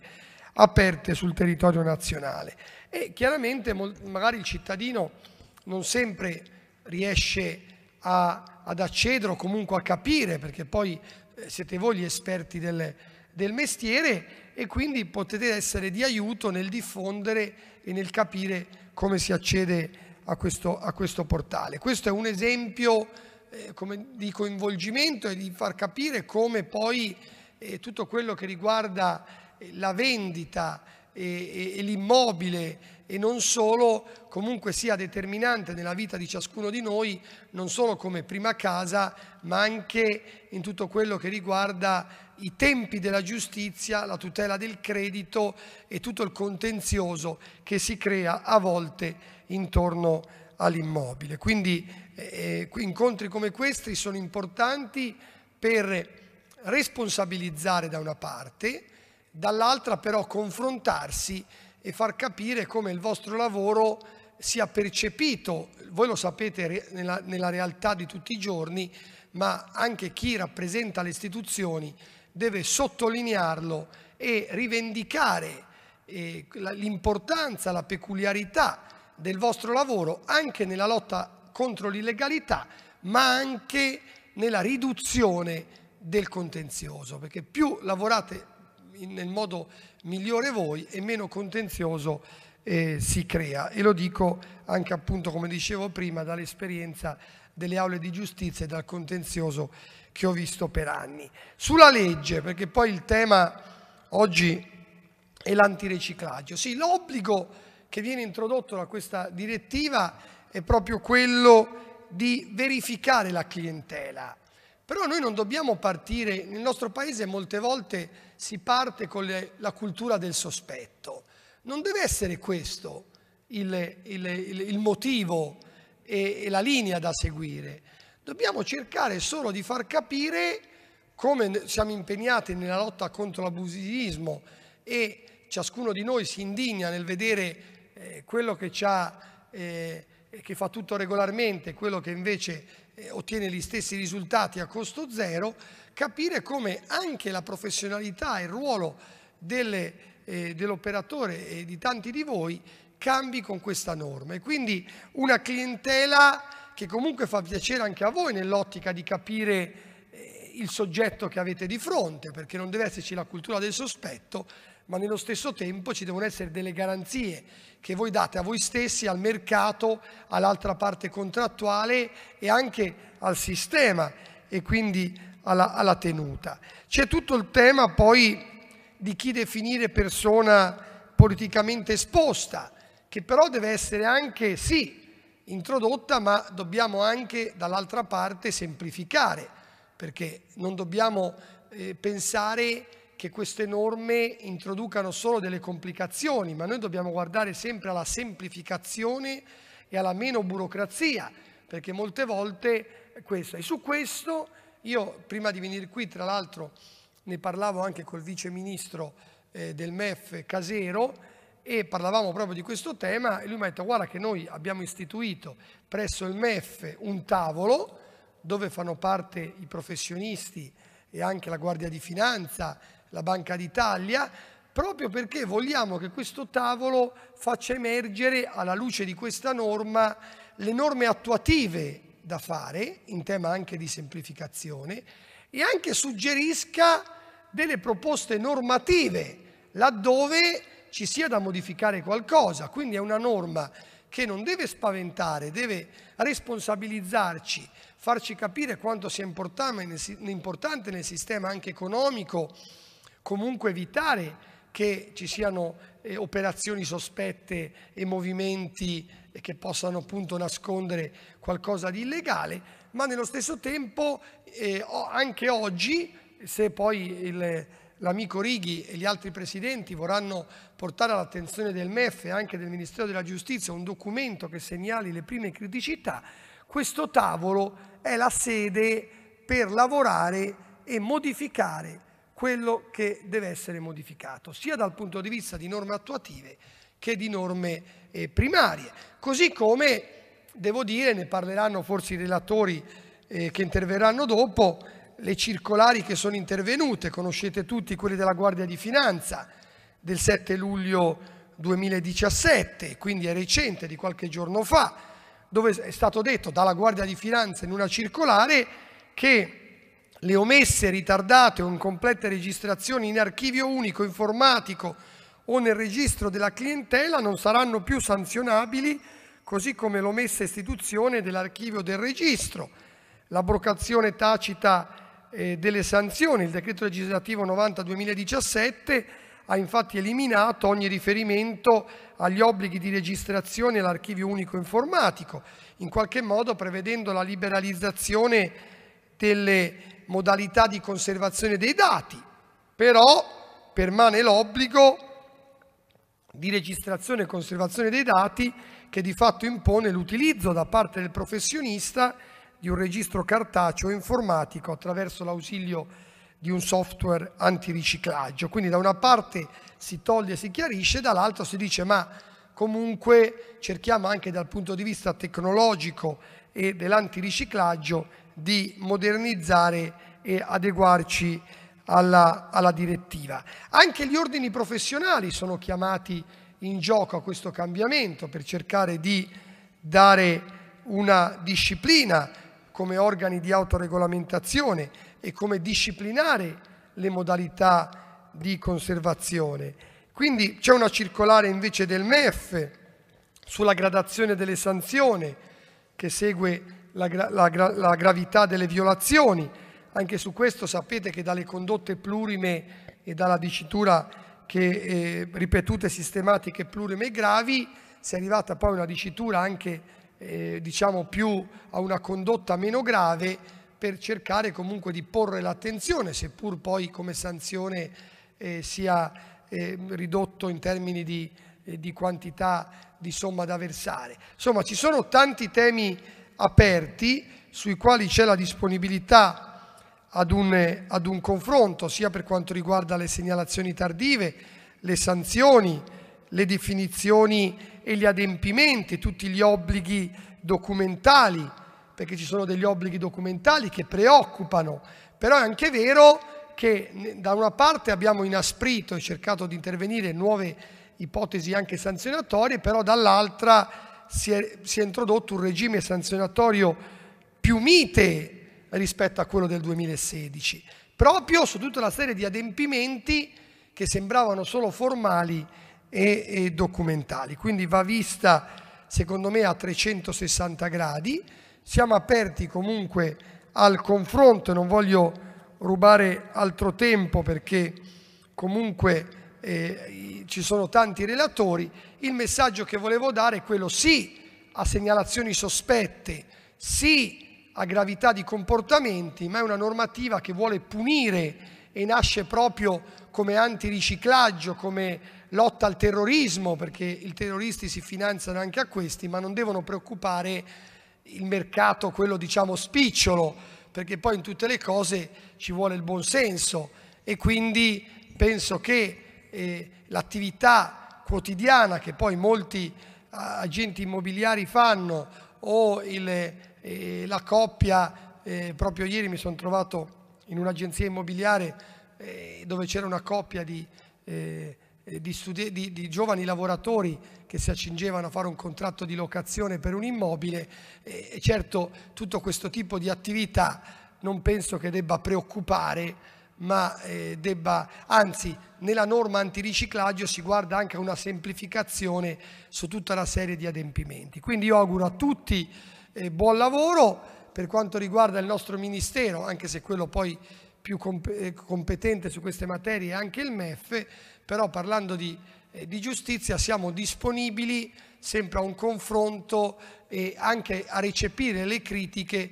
per cercare di migliorare. Comunque buon lavoro a tutti quanti perché io credo fermamente nella vostra attività e anzi eh, vi ringrazio per l'attenzione e la serietà che ponete nella maggior parte dei casi eh, di fronte a tanti diritti eh, dalla coppia che piglia la prima casa in locazione o l'acquisto della prima casa, a tanti momenti della vita di ciascuno di noi che sono fondamentali e che quindi segnano il passaggio anche importante dal punto di vista emotivo della crescita di ciascuno di noi. Quindi buon lavoro e grazie.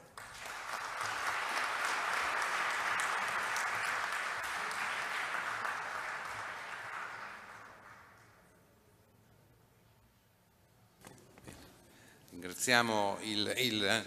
sottosegretario che eh, ci ha, eh, diciamo, ha, rimarcato il fatto appunto di questa norma che eh, in ogni caso è volta alla semplificazione. Eh, siamo, siamo,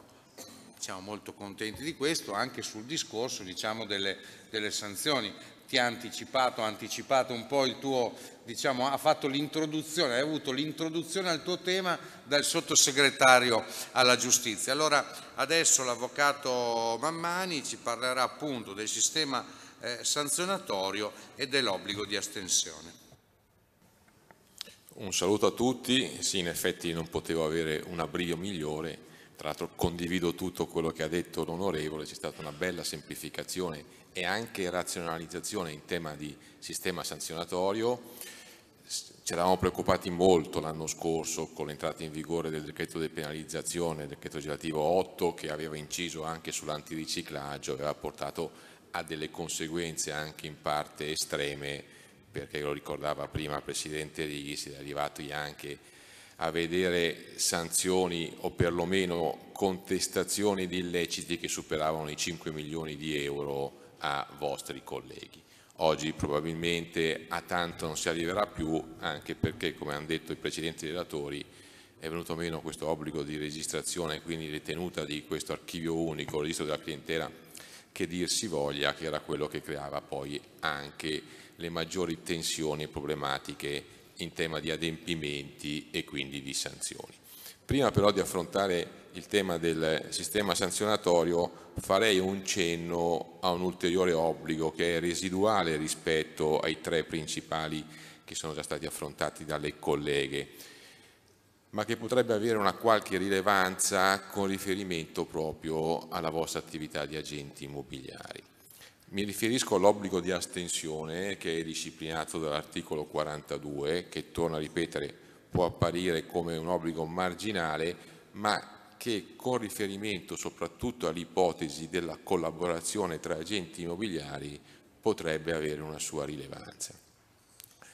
Perché? Perché vi leggo testualmente la norma, questo articolo 42 dice che i soggetti obbligati, quindi anche voi, che si trovano nell'impossibilità oggettiva di effettuare l'adeguata verifica della clientela, ovvero gli adempimenti che prima ci ha illustrato la collega Corvi, che quindi significa poter identificare il cliente con la carta di identità, individuare chi è il titolare effettivo e fare il profilo di rischio, chi si trova in questa impossibilità deve astenersi dall'effettuare o proseguire l'operazione, cioè non può compiere quell'operazione che gli viene chiesta. Fin qui in astratto la norma dell'anticiclaggio sono tutte norme generali astratto, valgono per una pluralità di soggetti, non sono state scritte con riferimento esclusivamente agli agenti immobiliari. Però se la caliamo nelle ipotesi della collaborazione possiamo avere, tra virgolette, dei dubbi interpretativi. Perché? Perché ci è stato detto che nel momento in cui due agenti immobiliari collaborano tra di loro, e voi sapete meglio di me che ipotesi tutt'altro che infrequente, soprattutto magari quando si trova a gestire un immobile che magari non si trova nella residenza del, del proprietario, del venditore, si trova magari è la casa al mare o la casa in montagna, il proprietario che risiede per ipotesi a Roma conferisce l'incarico al suo agente di fiducia di Roma, il quale che cosa fa? Contatta l'agente di Cortina e gli dice collaboriamo la gente di Cortina mette fuori le sue pubblicità, trova l'acquirente che magari è di Milano, che cosa succede? La gente di Cortina identifica, fa tutta l'attività di adeguata verifica della clientela come ce l'ha descritta l'avvocatessa Corvi prima e tra virgolette acquisisce tutti i dati del cliente di Milano che è il potenziale acquirente, così come aveva fatto l'agente di Roma con il suo cliente venditore. Bene, alla domanda che avevamo fatto all'inizio degli adempimenti antiriciclaggio, ovvero risalente al 2006 al Ministero, ma in questi casi cosa possono fare e cosa devono considerare i due colleghi? Si possono scambiare i dati e in primo luogo entrambi devono ottenere i dati, devono, avere, devono acquisire i dati di, di tutti e due i contraenti o meno? La risposta al tempo fu sì, dovete acquisire, ciascuno dei due agenti immobiliari deve acquisire i dati di entrambi i contraenti perché sono parte della medesima operazione e ciascuno deve identificarli personalmente, cosa che noi sappiamo che non è operativamente dal punto di vista pratico sempre fattibile, è inutile che ci nascondiamo e quindi io qua chiedo subito l'aiuto del Ministero e come associazioni noi una risposta potremo già avanzarla, cioè nel senso che in questi casi qui di regola la prassi è che ciascun agente immobiliare ha il suo cliente e quindi poi fattura il suo cliente, gestisce il suo cliente, quindi l'agente di Roma ha come cliente diciamo, il venditore nell'esempio che abbiamo fatto e l'agente di Cortina ha come cliente il signore milanese che è l'acquirente. Il pensare che siano clienti di entrambi potrebbe avere una logica da un punto di vista di diritto, ma da un punto di vista pratico è difficile che tutti, in tutte le circostanze, in tutte le occasioni, si possa avere modo e luogo di identificare personalmente da parte di ciascuno dei due agenti immobiliari anche l'altro soggetto cliente del collega. Orbene, se dovessimo applicare alla lettera, così come è scritta questa norma dell'articolo 42, nell'impossibilità di eseguire gli obblighi di adeguata verifica della clientela, ovvero per l'agente immobiliare di Roma nell'impossibilità di identificare, valutare e fare tutta l'attività di adeguata verifica nei confronti del cliente milanese dovrebbe astenersi dal proseguire quell'operazione, quindi o ha modo di incrociarlo, di incontrarlo, di vederlo o diversamente, stando a un'interpretazione rigorosamente letterale della norma, quell'operazione non potrebbe farla. Ripeto, la prassi operativa va in un altro modo e non crea francamente problemi particolari anche perché c'è il collega di Cortina che esegue anche lui questo tipo di attività. È previsto nell'attuale disciplina del decreto legislativo 231 come modificata dal decreto 90 che l'obbligo di adeguata verifica di clientela possa essere anche effettuato da un soggetto terzo lo prevede espressamente l'articolo 26, però il problema è che l'articolo 26 indica anche quali sono questi soggetti terzi e tra di loro non è compreso il collega agente immobiliare. Sono le banche, gli istituti finanziari oppure il professionista nel confronto di altri professionista. L'agente immobiliare non è ricompreso nelle definizioni del decreto nella categoria dei professionisti, quindi Purtroppo non abbiamo la possibilità di usufruire di questa estensione che era stata giustamente introdotta in questo decreto, per carità il decreto, torno a ripetere, riguarda, riguarda, una platea ampia di soggetti obbligati, non è stato scritto soltanto per gli agenti immobiliari, voi avete questa particolarità di essere tra le poche categorie o forse l'unica che ha due clienti, tutte le altre categorie anche di professionisti di regola hanno un cliente e quindi probabilmente è sfuggita al legislatore la circostanza, l'ipotesi non è stata disciplinata, fatto sta che nell'articolo 26 dove sono indicati i soggetti che possono adempiere, eseguire l'obbligo di adeguata verifica della clientela per conto di un terzo, non sono compresi i colleghi agenti immobiliari. Allora ripeto, questo articolo 42 che introduce questo obbligo di astensione che può apparire marginale, in effetti non ha la stessa rilevanza dei precedenti tre obblighi che abbiamo verificato, l'adeguata verifica della clientela, la segnalazione e la conservazione che sono gli obblighi principali, però potrebbe avere una sua rilevanza una sua incidenza con riferimento all'attività specifica. Quindi la nostra preghiera è al Ministero affrontiamo anche questo aspetto, vediamo di dargli una soluzione perché diversamente la situazione non è facilmente risolvibile da un punto di vista pratico. Fatta questa parentesi passo al sistema sanzionatorio dove vi dico condivido tutto quanto ha detto prima l'onorevole Ferri, c'è stata un'ottima razionalizzazione, c'è stata una graduazione delle sanzioni e una semplificazione anche delle stesse. È stato mantenuto il doppio binario, sanzioni di natura penale e sanzioni di natura amministrativa, però sono a mio modesto giudizio state evidentemente razionalizzate perché quando si parla di sanzioni di natura penale che contemplano l'arresto dai sei mesi ai tre anni si prevede una condotta attiva da parte del soggetto obbligato nel falsificare i dati o nel conservare dati falsi, quindi non è una svista, non è una colpa, è proprio una coscienza e volontà di fare qualcosa che lui sa per primo di non essere consentito. Quindi benissimo, è chiaro che ci debba essere anche una conseguenza drastica e grave come può essere quella di natura penale. Per quanto riguarda invece le sanzioni di natura amministrativa,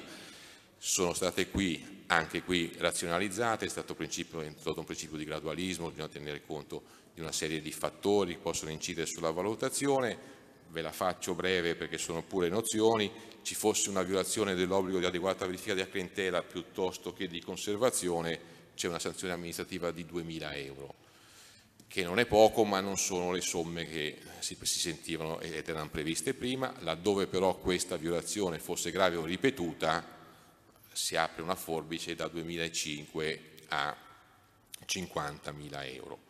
Per la violazione invece dell'obbligo di segnalazione, che è tra virgolette la razza e lo scopo principale di questa disciplina, quella di invitarci tutti a collaborare affinché si possano segnalare queste operazioni sospette. La violazione di questo obbligo comporta una sanzione di 3.000 euro che anche qui passa da 30.000 a 300.000 laddove la violazione fosse grave o ripetuta e può addirittura arrivare fino a un milione di euro dove da questa violazione si è tratto un vantaggio economico. Quindi anche lì c'è stata in qualche modo una condotta denotata da una volontà di violare l'obbligo per trarne un vantaggio economico. Tra le altre sanzioni che segnalo, ce ne sono una pluralità, è quella della violazione dell'obbligo di interrompere l'operazione quando arriva l'invito da parte dell'autorità, in questo caso l'UIF, che a fronte dell'assegnazione invita a non proseguire più in quell'operazione. In questo caso la violazione di quell'invito, che poi in realtà non è un invito ma è un obbligo, comporta una sanzione da 5.000 a 50.000 euro.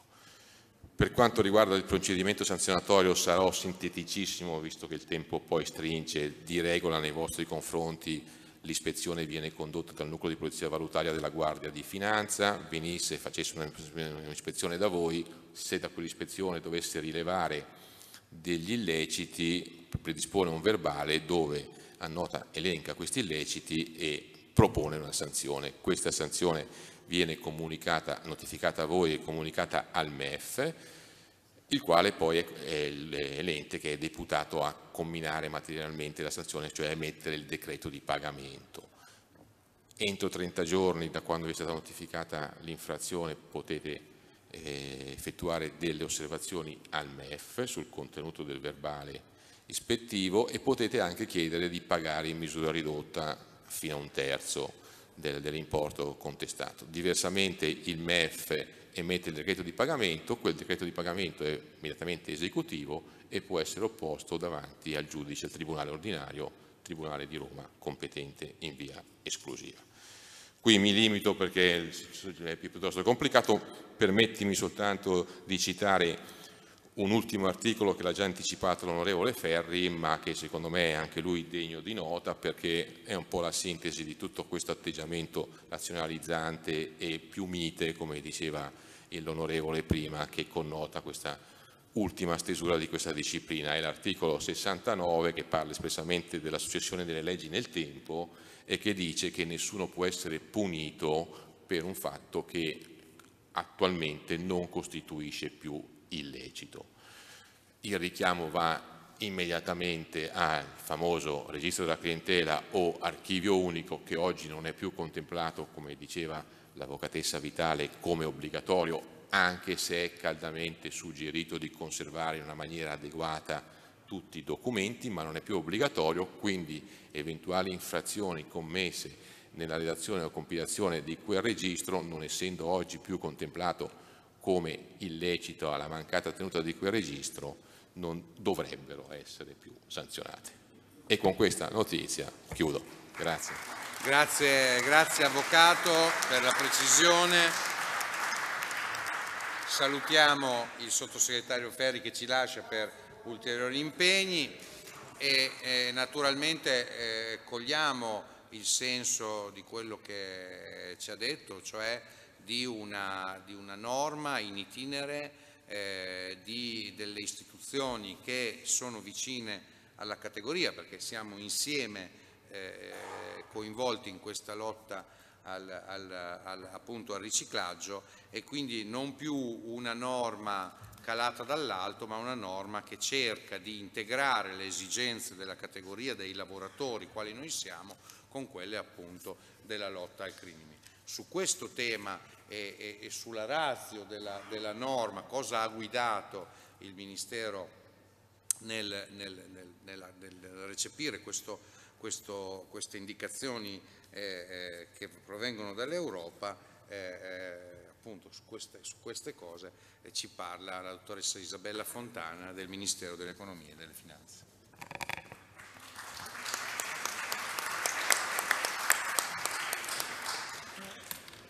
Buonasera, eh, ringrazio il Presidente Righi, ringrazio la Consulta e le associazioni e anche i relatori che hanno molto chiaramente, devo dire, illustrato la legge, quindi non c'è assolutamente bisogno che, che ripeta i vari passaggi. Tra l'altro avete anche correttamente interpretato lo spirito della normativa. La normativa viene più lontano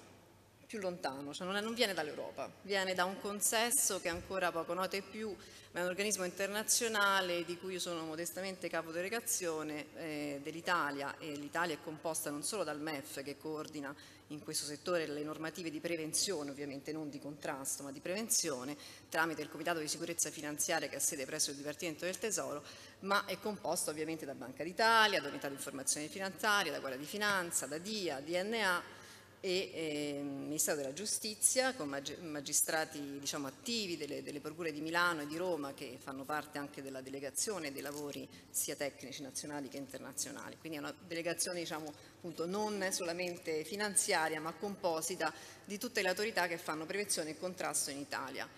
L'organismo è il GAFI, il, um, è un organismo diciamo, di, di, ormai di antica origine perché dell'89 che ha avuto una rilevanza maggiore dopo gli attentati ovviamente alle Torri Gemelle del 2001 e ha creato degli standard abbastanza cogenti a livello internazionale nel 2003. L'Italia è stata presidente di questo organismo nel 2012 e sotto presidenza italiana sono stati emanati nuovi standard internazionali eh, per il riciclaggio, per il contrasto al riciclaggio e per il contrasto al finanziamento del terrorismo, nonché anche la proliferazione delle armi di distruzione di massa, che è diciamo, un'aggiunta un ai nuovi standard e non di poco conto, eh, diciamo, visto che, quello che circola sul pianeta. La rilevanza del riciclaggio. Il riciclaggio eh, prima era considerato un reato diciamo, tecnico, poco conosciuto e anche non particolarmente usato, era usato come parte dei procedimenti penali contro la criminalità organizzata, adesso sta diventando invece un reato, come dire, a valle, a valle di tutto, a valle della corruzione, a valle dell'evasione fiscale, a valle anche, si comincia a pensare anche dei traffici di migranti, e della criminalità organizzata, insomma quindi è un reato che sta acquisendo una sua rilevanza autonoma ed è per questo che il sottosegretario ha richiamato il fatto che in Italia è stato introdotto il reato di autoriciclaggio. Il reato di autoriciclaggio cambia moltissimo la prospettiva penale perché ovviamente abbraccia tutto il campo dell'evasione fiscale che adesso entra prepotentemente come reato presupposto del riciclaggio. Quindi aumentano, aumentano a dismisura gli indicatori possibili di anomalia di operazioni sospette, ehm, perché appunto eh, le operazioni possono essere relative anche semplicemente anche al reato presupposto. Ora, senza ovviamente spaventare e, e, e richiamare le, le, quali sono gli obblighi di collaborazione attiva, è giusto quello che ha detto il sottosegretario, insomma, non, ogni cliente non va visto come un potenziale criminale e anche il titolare effettivo non lo è perché adesso c'è molta, dire, c'è molta, teoria e molta, il foro internazionale sono tutti su, su, questo povero titolare effettivo che adesso renderemo tra, tra, tra poco pubblico perché noi siamo ancora sotto quarta direttiva europea, quindi non abbiamo ricepito la direttiva del 2015, ma io sto già seguendo con i miei colleghi la nuova direttiva europea, la quinta, che è incentrata soprattutto sui lavori sul titolare effettivo. Quindi come rendere accessibile questo dato non soltanto ai soggetti obbligati, questa è stata una battaglia dell'Italia anche in ambito GAFID europeo, cioè rendere l'accesso di questo dato eh, non soltanto alle autorità, ma possibile anche per i soggetti obbligati e su questo stiamo lavorando, cioè abbiamo già dei tavoli in essere con Union Camere e Infocamere e Mise per eh, il decreto di attuazione della famosa sezione del titolare effettivo. Questa sezione del titolare effettivo, diciamo, l'Italia adesso l'ha declinata, aperta soltanto a autorità e soggetti obbligati e a chi dimostra un interesse legittimo. Noi l'abbiamo declinato con un interesse legittimo collegato a un procedimento giurisdizionale in cui diciamo, la, la, parte eh, ha un interesse a sapere chi è il titolare effettivo probabilmente della, della sua controparte in un procedimento diciamo, contenzioso civilistico e il futuro di questo sarà che ogni cittadino potrebbe potenzialmente avere il diritto a sapere chi è il titolare effettivo. Quindi questo titolare effettivo diventa quasi più importante diciamo, del cliente società nell'ambito del circuito antiriciclaggio ed è per questo che l'identificazione del titolare effettivo non può essere più considerata in subordine, ma quello e, quella, quella congiunzione e che trovate ogni volta che trovate la parola cliente e titolare effettivo vuol dire che i due quando stiamo parlando di società di capitale o di, o di persone giuridiche private, quindi società di capitale fondazioni associazioni, il titolare effettivo è essenziale che sia identificabile e identificato. È chiaro che non deve essere sempre in nostra presenza, è chiaro che noi davanti avremo il cliente eh, che deve fornire sotto sua responsabilità, questo era già nella terza direttiva, era già nella 231, articolo 21, il cliente ha la piena responsabilità dei dati che vi conferisce, quindi questo è un elemento importantissimo perché ovviamente è passibile anche di sanzioni penali il cliente, ma non solo, il cliente società, il cliente impresa adesso ha un doppio onere, cioè deve disvelare il titolare effettivo al soggetto con cui entra in rapporto d'affari, eh, ma deve disvelare il titolare effettivo anche al registro imprese.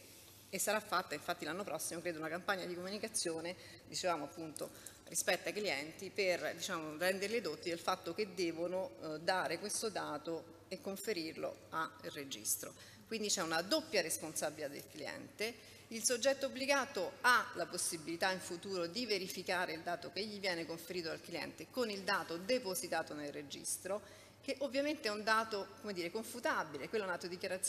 di una società che può, può aver messo un nome, eh, per la maggior parte dei casi coinciderà con la proprietà legale, perché adesso anche lì non stiamo, cioè in Italia la maggior parte delle, delle, delle, delle società, come dimostrano anche studi universitari recentemente pubblicati, non abbiamo diciamo, queste strutture complicate diffuse sul territorio nazionale, sono strutture prettamente familiari, prettamente incentrate con titoli effettivi italiani. Però è chiaro che c'è un'attenzione maggiore anche sui trust e anche sugli obblighi del trustee rispetto sia al registro sia ai soggetti obbligati. Quindi è chiaro che, la, che gli agenti e che comunque i soggetti obbligati sono contornati di altri soggetti che hanno degli obblighi cogenti, quindi non deve essere spostato tutto il peso e responsabilità di individuare questa persona, del effettivo, sul soggetto obbligato che viene in contatto con il cliente. E, e, diciamo, la sezione del registro è stata fatta in ambito europeo perché in ambito internazionale non è obbligatorio avere un registro di titolari effettivi,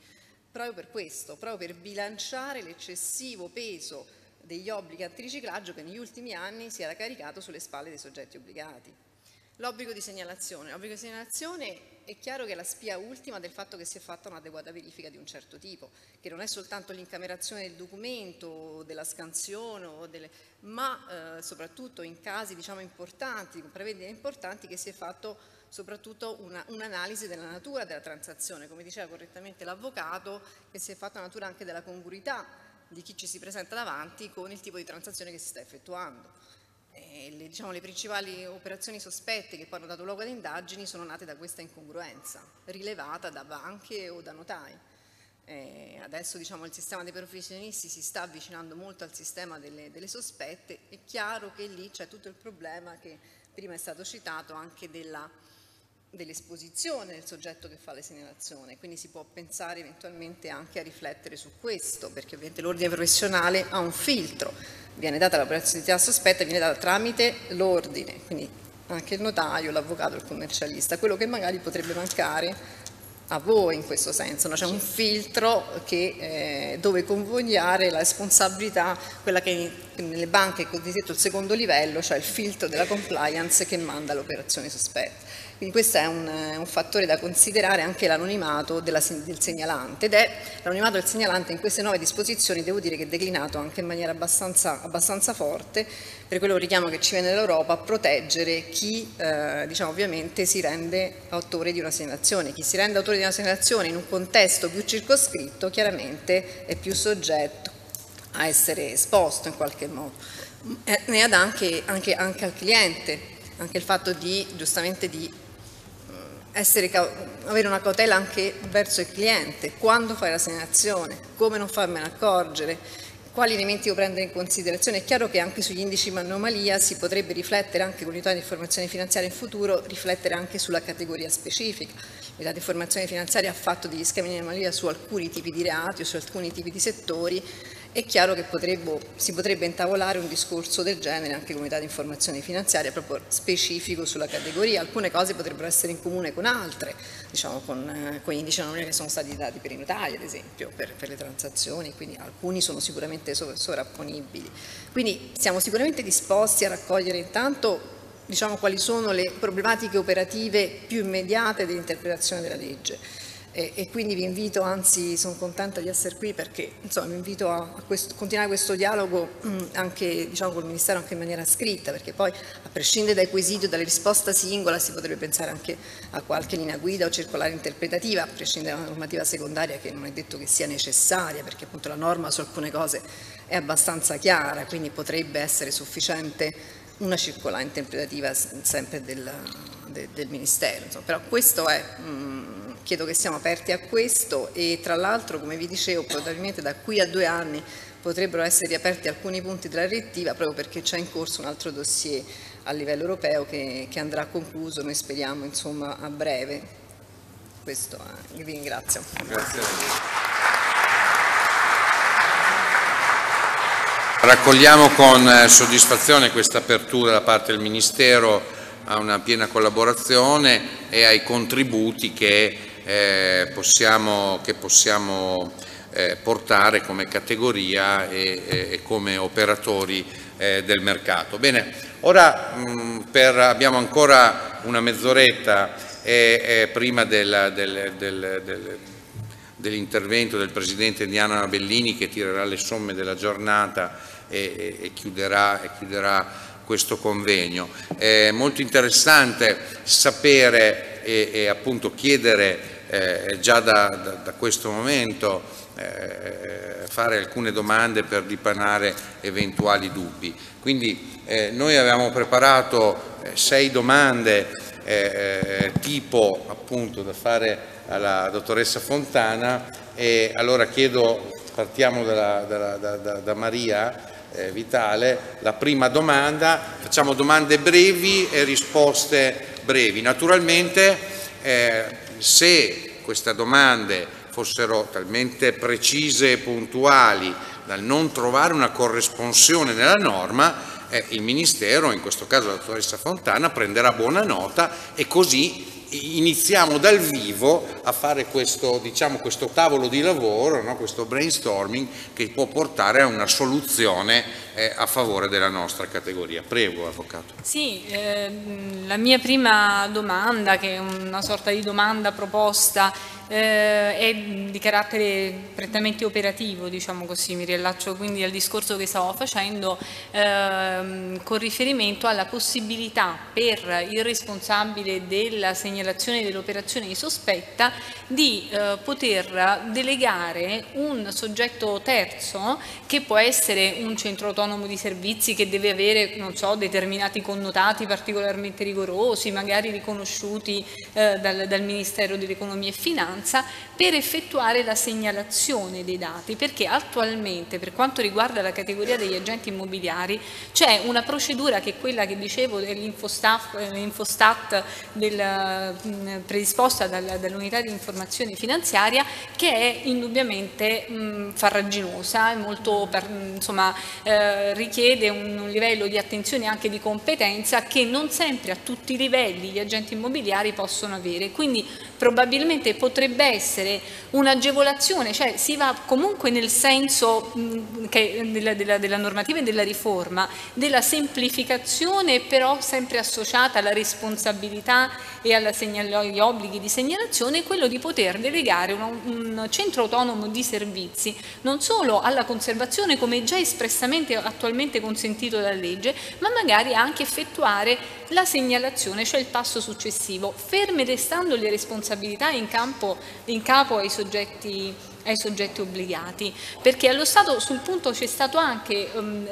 nella, nella vecchia, sotto la vigenza della vecchia normativa uh, una interrogazione al, al, Ministero, però il Ministero um, ha diciamo, risposto che non era possibile fare, delegare diciamo, questa attività um, per ragioni di riservatezza uh, e di tutela del segnalante però suppongo che magari su questo ci si può lavorare, eh, rendendo rigidi forse i, le caratteristiche eh, che, che, dovrebbe avere il centro autonomo mh, di, di, servizi per, per effettuare questa segnalazione. Questo è un tema complesso, quindi non, sì. sicuramente non, non no, rispondo no. adesso maniera... Eh, allora, il centro autonomo di servizi è collegato al record keeping, cioè la conservazione dei dati, sì. perché lì ci potrebbero essere economie di scala eh, che non incidono no, sulla responsabilità del conferimento del dato alla gestione e al mantenimento di quello che può essere un archivio centrale, di quello che può essere una cosa che poi tra, l'altro potrebbe essere fruibile per voi anche per altri, per altri fini o per con, confronti, come diciamo prima, magari tra, tra, colleghi che hanno clienti in diverse parti d'Italia, quindi potrebbe essere utile avere una rete di, di condivisione di informazioni per questo. Per quanto riguarda invece il conferimento diciamo del, del, dell'invio della sospetta, lì è un po' diverso perché giuridicamente chiaramente l'ordine, eh, ad esempio faccio come confronto come l'ordine di notai, no? A è un organismo di autoregolamentazione e anche ha poteri di vigilanza sui propri, sui propri iscritti e quindi ovviamente chiaramente è un, è, un, è un, organismo che poi si rende responsabile in maniera primaria di avere eventualmente poi mandato o meno la segnalazione le banche hanno questa, diciamo le, le, grandi banche hanno questa rete di, di filiali con responsabile della compliance e riciclaggio centrale che però fa da filtro perché tra l'altro il singolo singolo direttore potrebbe aver mandato una segnalazione che invece è passibile di archiviazione. Per, per eccesso di zero, ormai le banche mandano quintali di segnalazioni, no? sono arrivate 100.000 segnalazioni quest'anno alla UIF di cui l'80%, insomma il 90% è coperta dal settore bancario, quindi è chiaro che lì c'è anche una funzione di filtro, di protezione ovviamente della persona fisica che ha mandato la segnalazione, però di filtro, tant'è che noi quando facciamo le sanzioni amministrative sulle banche il filtro è contemplato nella sanzione amministrativa, nel senso se, se si è fermato a un certo punto lo, la segnalazione e non doveva fermarsi, doveva essere invece inoltrata dalla UIF, ovviamente la responsabilità poi giuridica della sanzione è del secondo livello, cioè di chi poi non l'ha trasmessa, di chi ha fatto un filtro che non poteva essere. Quindi è molto complicato pensare che una funzione che poi è passibile di sanzione possa essere esternalizzata in qualche modo però ciò non toglie che, potrebbe, che potrebbero essere considerate da voi altre forme eh, senza diciamo, avere un organismo che sia necessariamente di vigilanza interna o di audit interno, però dove convogliare però dove ci dovrebbe essere un responsabile, non dico di associazione, certo. che si fa garante di, di, della Bene. responsabilità degli associati. Quindi diciamo creare questa sorta di secondo livello sì. eh, è possibile anche a livello cioè potrebbe essere possibile anche a livello associativo. Noi lo facciamo già ad esempio per la segnalazione agli abusivi, no? eh, laddove in certe città può diventare pericoloso per un agente immobiliare segnalare un abusivo, eh, la federazione, le federazioni, penso tutte, eh, il Presidente firma la denuncia in modo insomma, eh, da renderla un po' esente da personalismi o da eh, possibili ritorsioni. Avvocato Corvi, prego la sua domanda.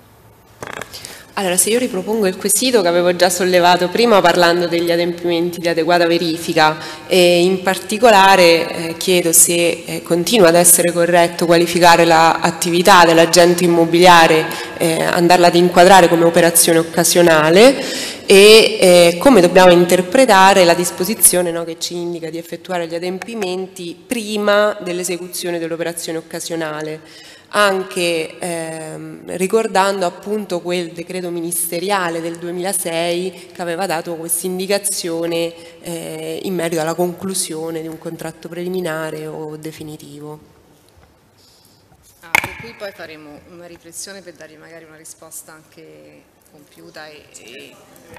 e, e genera, di validità generale. È chiaro che la risposta è stata data dal MEF in merito al decreto attuativo eh, diciamo, degli obblighi nascenti nel 2006 è addirittura pre-231, quindi siamo sotto seconda direttiva, neanche sotto terza. È chiaro che già la 231 del 2007 ha cambiato eh, sia l'obbligo d'astensione sia la natura diciamo, dell'instaurazione del rapporto. Quando si parla delle tre che lei correttamente ha enunciato, l'articolo 17, no? le tre tipologie, eh, il conferimento dell'incarico ricorre più volte, non solo nell'articolo 17, anche nell'articolo 18, anche più avanti, perché ovviamente e dice o, oh, no? perché dice prestazione occasionale oppure instaurazione di rapporto continuativo o conferimento dell'incarico. È chiaro che se un conferimento dell'incarico è un conferimento formale, anche se poi non segue una compravendita, in quel momento io sto acquisendo un cliente, quindi nella mia interpretazione adesso diciamo, diretta della lettura della norma lo vedo già come un inizio di rapporto di clientela e, e vedo anche lì prima della firma definitiva del conferimento dell'incarico eventualmente uno, un pre-screening perché la norma da 30 giorni come correttamente lei ha ha ricordato e quei 30 giorni servono anche a questo, no? prima magari di acquisirlo completamente come cliente e fare la verifica dove lì non è immediata o l'identificazione dove non è immediata, io prendo un po' di tempo, mi ricordo noi lo facevamo negli anni 90 anche in banca, non si apriva subito un conto quando arrivava una società, ci si prendeva un attimo di tempo e poi dopo si richiamavano le persone e si firmava tutto, no? perché quei 30 giorni possono servire eventualmente a dire no, non vado avanti con questo cliente perché c'è qualcosa che non mi convince. Quindi quel prima è chiaro che cambia tutta la prospettiva della, del rapporto con la clientela e quindi il cliente è cliente eh, da quando c'è un conferimento. Sì. Ecco, poi noi abbiamo il problema eh, come categoria del conferimento verbale esatto. o del conferimento di incarico scritto e quindi è, è, è, lì sul conferimento verbale, cioè il cliente che passa, guarda Franco, devo vendere l'appartamento in via tal dei tali,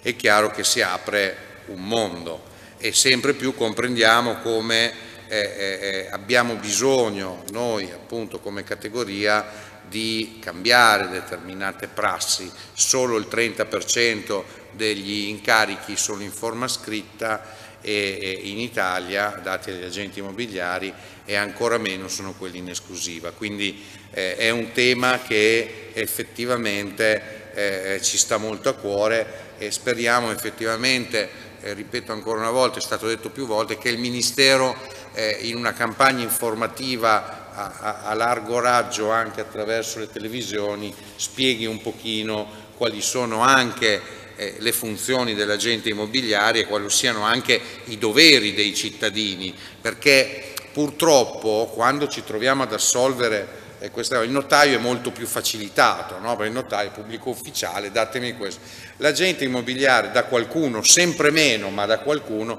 viene preso un po' sotto gamba, eh no, ma io ti devo dire, io volevo solo vendere l'appartamento. Quindi abbiamo bisogno delle istituzioni che ci aiutino eh, ce la dobbiamo fare da soli come categoria, ma anche delle istituzioni che ci aiutano a aumentare questo, questa percezione sociale del, del, del cliente all'interno, diceva anche Santino nel suo discorso iniziale. Prego, Avvocato Mammanso. Sì, allora io una domanda l'ho già fatta nel corso dell'intervento, è quella sulla collaborazione tra agenti e ritengo che sia di estrema rilevanza per l'attività ne farei un'altra adesso che riguarda stime e valutazioni. Perché? Perché abbiamo avuto un'esperienza diretta in un convegno a Milano fatto con un esponente della Guardia di Finanza, il comandante della Guardia di Finanza ha detto che tutta l'attività dell'agente immobiliare è ricompresa nella disciplina antiriciclaggio e quindi anche un'attività che si dovesse connotare in una stima o in una valutazione. Francamente qualche riserva l'ha destata questa interpretazione perché, se mi posso permettere, nel 2006 il decreto ministeriale 143 che aveva declinato categoria per categoria quali fossero gli obblighi ci aveva semplificato molto le interpretazioni perché aveva detto con riferimento agli agenti immobiliari soltanto le compravendite immobiliari, quindi le locazioni erano fuori, cessioni di aziende erano fuori, perizie erano fuori. Poi col 231 del 2007 i regolamenti di attuazione non sono stati più fatti, quindi non è stato più declinata settore per settore, attività per attività, quali fossero le modalità di adempimento e quindi tutta l'attività rimane ricompresa nell'ambito della disciplina antiriciclaggio e quindi è dal 2007 che abbiamo cominciato a contemplare anche gli adempimenti in tema di locazioni o cessione di azienda. Ma sulle stime, francamente, sulle perizie, eh, siamo rimasti un po' perplessi nel sentire questa interpretazione perché in una stima, in una perizia non c'è un trasferimento di un importo di denaro e quindi viene difficile immaginare che possa essere un'operazione che sottenda una volontà di riciclare del denaro o di finanziare un terrorismo. Però in difetto di un'interpretazione chiara o come lei prima ci ha suggerito, ci ha indicato e che noi apprezziamo di un parere, magari di una circolare fatta dal Ministero, può essere che anche i funzionari che verranno a fare ispezioni dicono siccome nulla è escluso a priori, tutta la vostra attività è ricompresa e quindi anche una stima, nel caso in cui doveste fare una valutazione, una perizia, una stima, dovreste adempiere a tutti questi obblighi. Ripeto, le perplessità rimangono, non so se lei è già in grado di darci un'indicazione, una risposta, oppure magari se possiamo confidare una circolare interpretativa sicuramente, cioè, le, perplessità ce l'ho anch'io adesso pensando a questa cosa perché ovviamente non, ci sono, non solo non ci sono mezzi di pagamento ma non c'è neanche poi alla fine un, ah, scusi. Eh, le perplessità sono, sono anche personali in, que, in, questo riguardo perché non solo non ci sono mezzi di pagamento in quel caso a prescindere dall'eventuale no, pagamento della prestazione professionale in sé della stima eh, perché non so se la Guardia di Finanza pensava anche a questo aspetto. No, ma su quello eravamo tra virgolette concordi nel ritenere che la prestazione fosse anche gratuita in una mm compravendita immobiliare fosse ad esempio avvenuta una rinuncia al diritto alla provvigione, in ogni caso attività di compravendita io verifico, faccio l'analisi del rischio, tutto quanto, perché lì è quell'operazione che potrebbe sottendere una volontà di riciclare del denaro o di finanziare il terrorismo ma laddove si faccia una perizia, cosa segnalo? Cioè non c'è nessun tipo, non c'è movimentazione di denaro e quindi manca quella che è la razza ispiratrice della legge, che è quella di collaboriamo tutti quanti affinché non abbiano a compiersi quelle operazioni che tendono a riciclare del denaro o a finanziare il terrorismo. Su una valutazione, su una stima, su una perizia non c'è movimento certo, di denaro. se non è propedeutica eh, Però l'interpretazione di coloro che a Milano vengono a fare i controlli è questa. Comunque rifletteremo anche con questo, anche perché con la Guardia di Finanza ovviamente poi ci dobbiamo coordinare per quando loro poi inizieranno l'attività operativa no, di, sul, sì. di, ispezioni in base alla nuova legge, è chiaro che un collegamento col MEF da parte loro c'è, eh, cioè ci sono tavoli continui con loro, quindi su questo ci riflettiamo. Grazie. Comunque, eh, diciamo, ad oggi, diciamo che ad oggi quella delle perizie e delle stime eh, rimane un'interpretazione un di un comandante seppur di un'autorità giudiziaria che forse aveva fatto qualche azione, veniva dai NOx, veniva dalle forze speciali e quindi è più aggressivo, ma no, no, per l'amor di Dio. Era perfettamente in buona fede, no, no, lui ha certo. detto io non ho studiato analiticamente specificatamente certo, la vostra certo. categoria, parlo dell'attività in generale, quindi e secondo me. Chiedo a qualcuno degli astanti se avete una qualche domanda eh, personale, allora eh, qua davanti il primo, poi facciamo l'altro giro, prego. Sì, grazie. Allora, buonasera a tutti. Ecco, il microfono eh, lo tiene il, il, il, il, No, no, lo tiene perché sennò dopo ci sono quelli che si impadroniscono e parlano per ore. Allora, ricollegandomi alla, alla domanda dell'Avvocato Corvi sul momento dell'adeguata verifica, c'è un aspetto che è, diciamo, è peculiare dell'agente immobiliare. Abbiamo una parte venditrice ma abbiamo anche una parte acquirente. Eh, se è vero, cioè se la sua interpretazione è stata che la parte venditrice si deve identificare al momento dell'incarico, al momento precedentemente al, al conferimento dell'incarico, anche leggendo l'articolo normativa. Ma la parte acquirente qual è il momento giusto per identificare la parte acquirente? Sì, mi chiamo Bimbi, sono responsabile di una società che eroga servizi in ambito antiriciclaggio alle agenzie immobiliari. Ehm, eh, su questo mm, mi sembra chiaro appunto che ci sia l'esigenza no, di declinare anche eh, questi, queste casistiche, giustamente, perché lì non c'è un conferimento dell'incarico, c'è semplicemente eh, una persona che poi va e accetta la, e quindi è chiaro che lì sarebbe limitato poi alla, alla firma della, de, de, dell'atto, cioè sarebbe, rientrerebbe della definizione tradizionale della, del cliente che, che, che, che, acquista, però chiaramente cioè, l'esigenza di, di, di, declinarlo anche rispetto a voi eh, c'è, perché questa cosa della doppia clientela è chiaro che è precipua vostra e specifica del vostro settore. Sì. Mm? Sì, sì, il famoso assegno che, no, sì. che, si, che, si, dà. Certo, certo, è chiarissimo, sì, è chiarissimo. Sì, e, ehm, diceva appunto la dottoressa, è chiaro che eh, eh, andremo a declinare anche questi, questi, momenti. È comunque chiaro che eh, eh l'acquirente quando firma la proposta, eh, quando fa, fa, un atto scritto, esprime la propria volontà, la volontà in un atto obbligatorio, è chiaro che da lì iniziano tutte le procedure, però declinarle è un bene. Eh, Tonnina e poi il signore... Eh, ecco, sì. Buongiorno, Paolucci di InfoAss, Centro Autonomo di Servizi Antiriciclaggio. Per, eh, in subordine alla proposta dell'Avvocato Vitale, il provvedimento Pescuolo di maggio 2011, che è di UIF, eh, prevede la possibilità che il referente SOS abiliti un terzo soggetto ad operare sul portale Infostat. Quindi eh, ad, una, ad, un quesito posto a Banca d'Italia, Banca d'Italia ha risposto no se è un soggetto esterno all'impresa, ma se fosse un soggetto interno all'impresa perché incaricato del trattamento dati oppure eh, di responsabile del trattamento dati sarebbe a questo punto interno all'impresa e quindi potrebbe assolvere al compito non di fare da filtro come la compliance di una banca di un'assicurazione, semplicemente a quello di operare sul portale. Eh, due cose veloci. Uno, il, um, uh, la, il riscontro della clientela che fa l'agente immobiliare può essere fatto tramite l'anagrafe del, um, detenuta da Consap, eh, lo Scipafi, la legge 64 del 2011 se non ricordo male, ma l'accesso è precluso agli agenti immobiliari, cioè soltanto banche, assicurazioni e finanziari possono accedervi.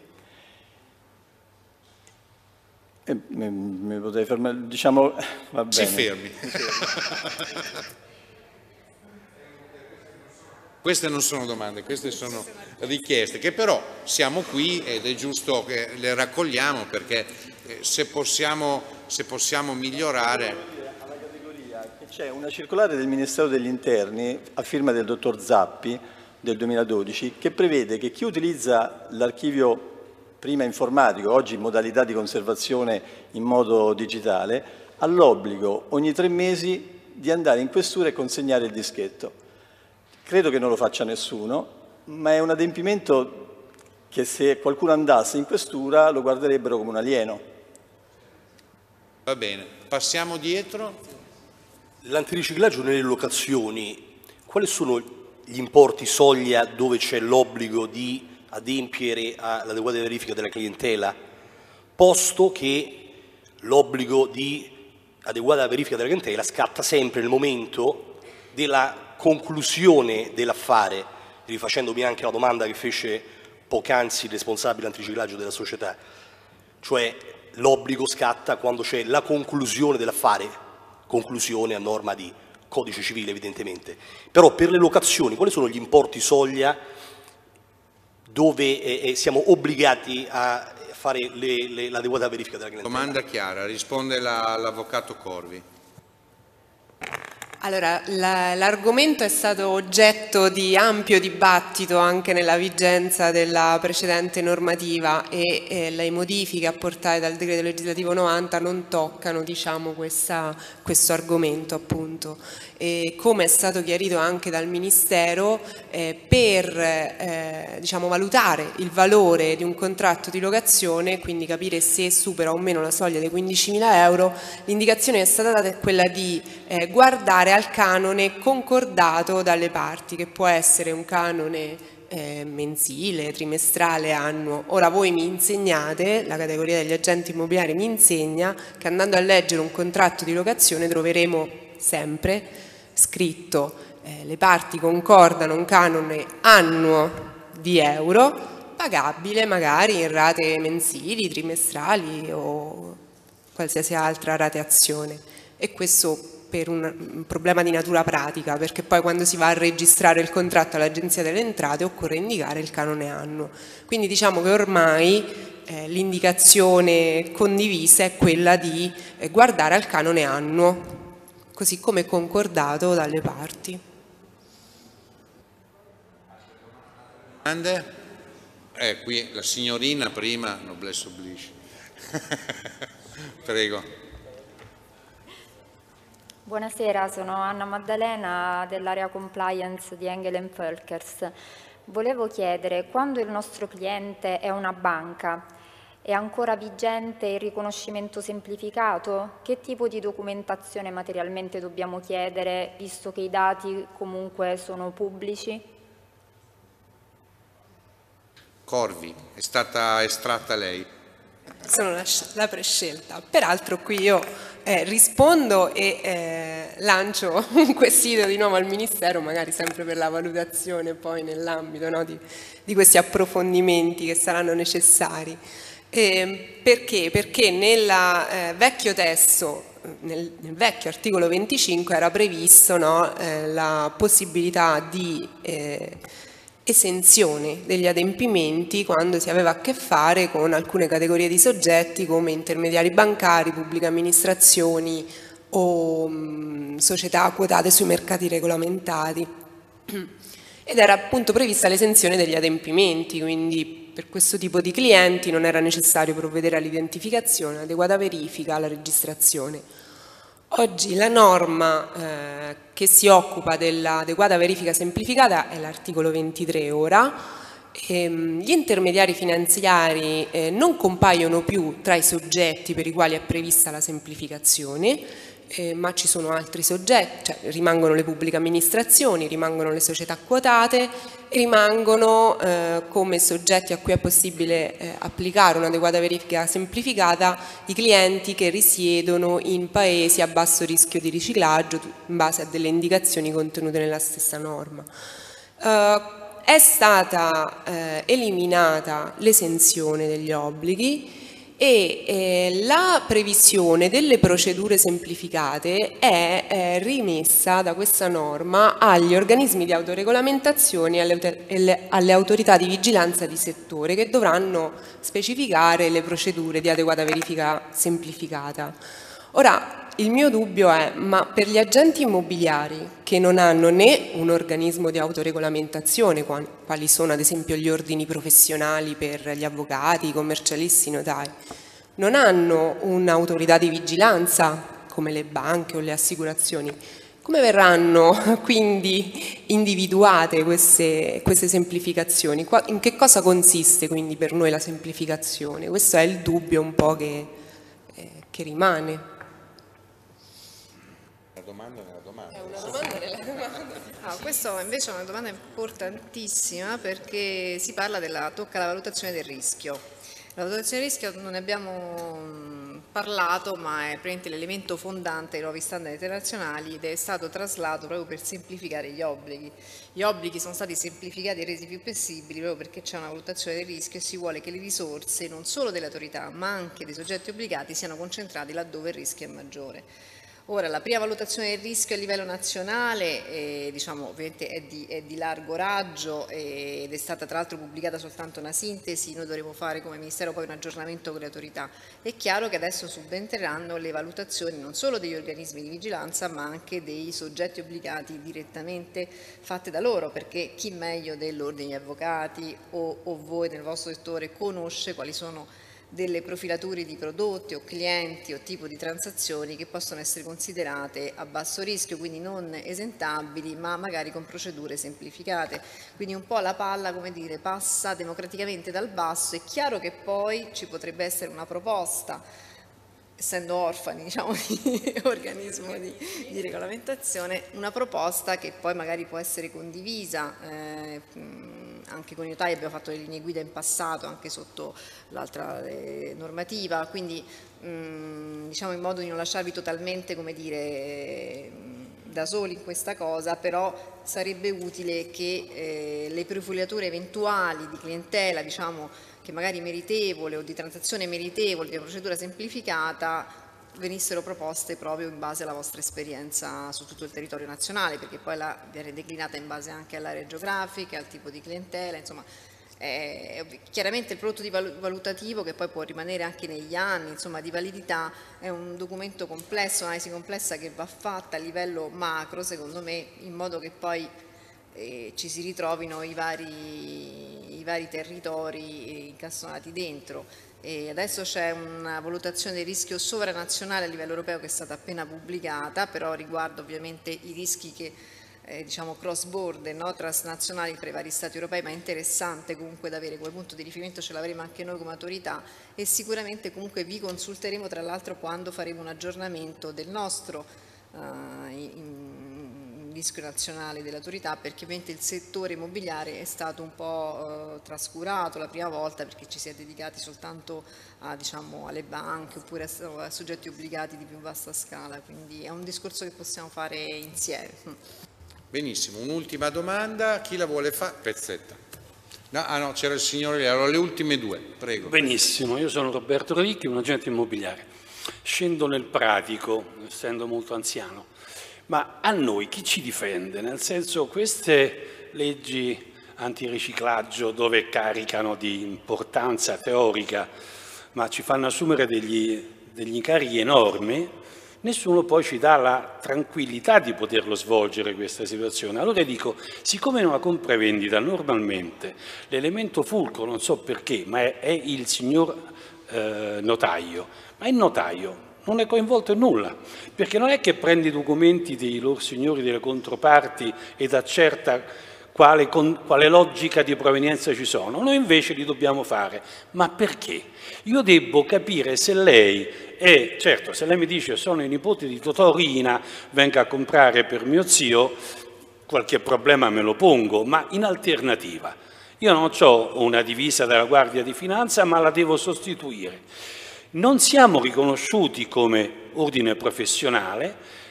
siamo trattati a calci da tutti, e noi però dobbiamo sottostare alle leggi antiriciclaggio. E il Presidente Taverna molto intelligentemente diceva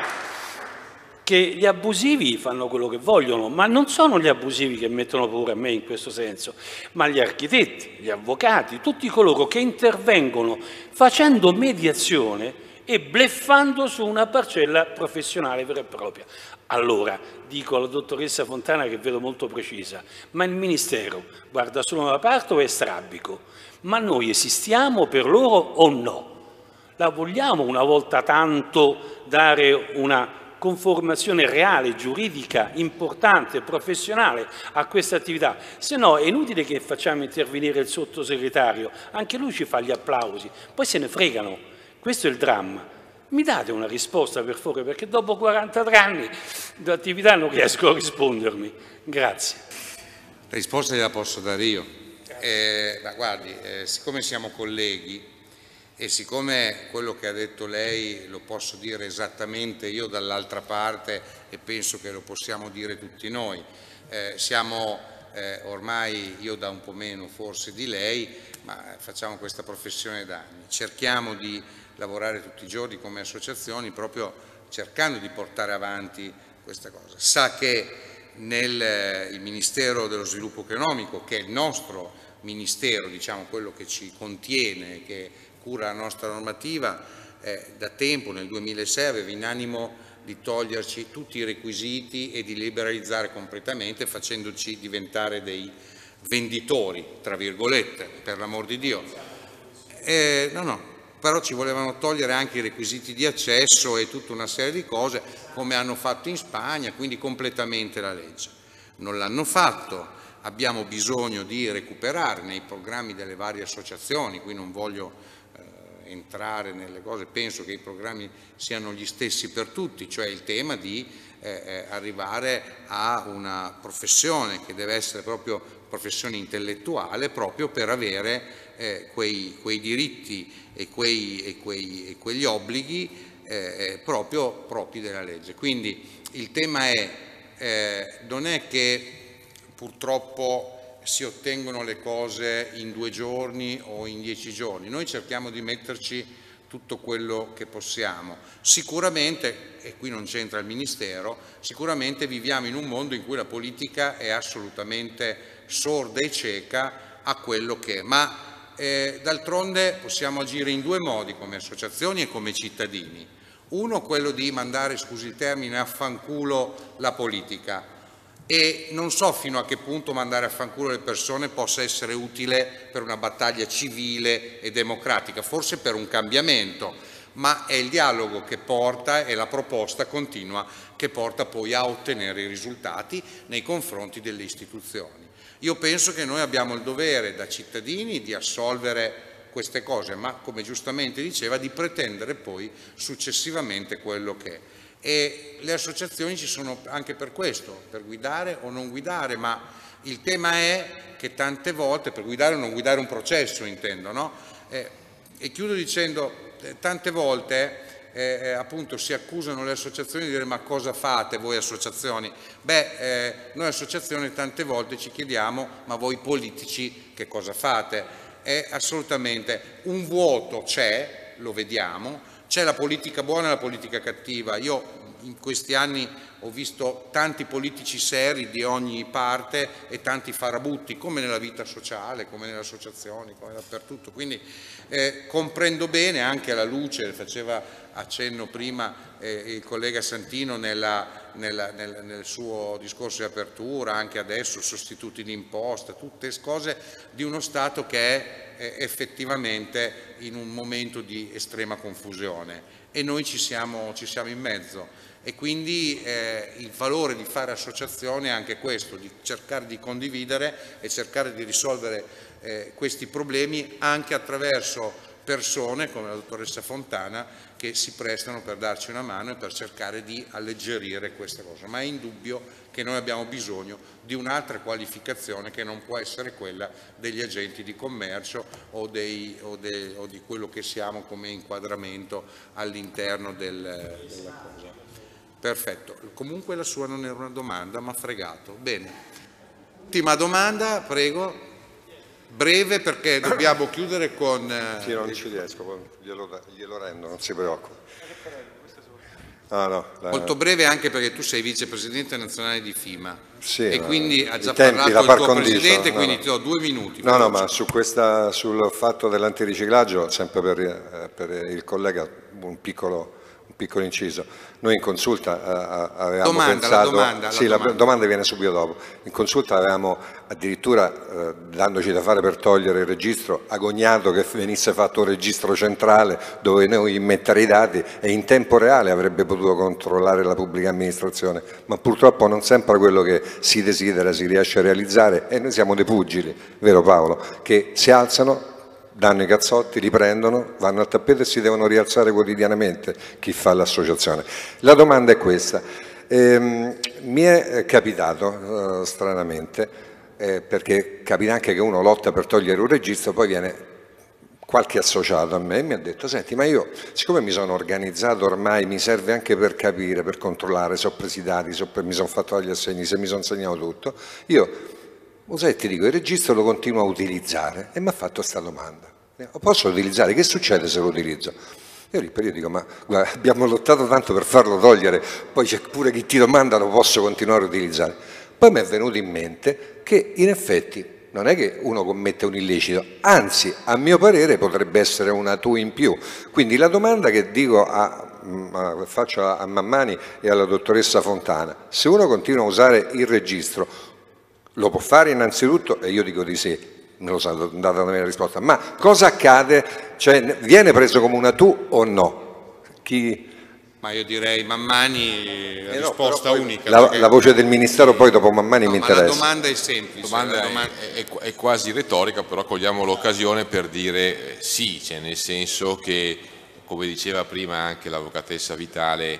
bisogna comunque conservare questi dati e renderli facilmente e tempestivamente intellegibili all'autorità all'occorrenza. Quindi il catalogarli con un archivio unico informatico piuttosto che un registro della clientela è un modo di conservazione anche dei dati, oltre che di registrazione. Quindi chi registra fa di più di quello che gli viene chiesto di fare, ma lo fa bene perché organizza il dato, lo archivia in un certo modo con determinati criteri, se lo fa anche a livello informatico con quelli che erano i parametri e i criteri molto ristretti e rigorosi che avevano i vecchi archivi informatici, fa un dato che diventa subito e tempestivamente intellegibile all'autorità in caso di richiesta e quindi eh sì, la risposta è lo faccia, non commette assolutamente un illecito, questo è evidente, fa sicuramente qualcosa che è apprezzabile, così come è apprezzabile per dare una risposta alla dottoressa Fontana sul discorso della profilazione del rischio,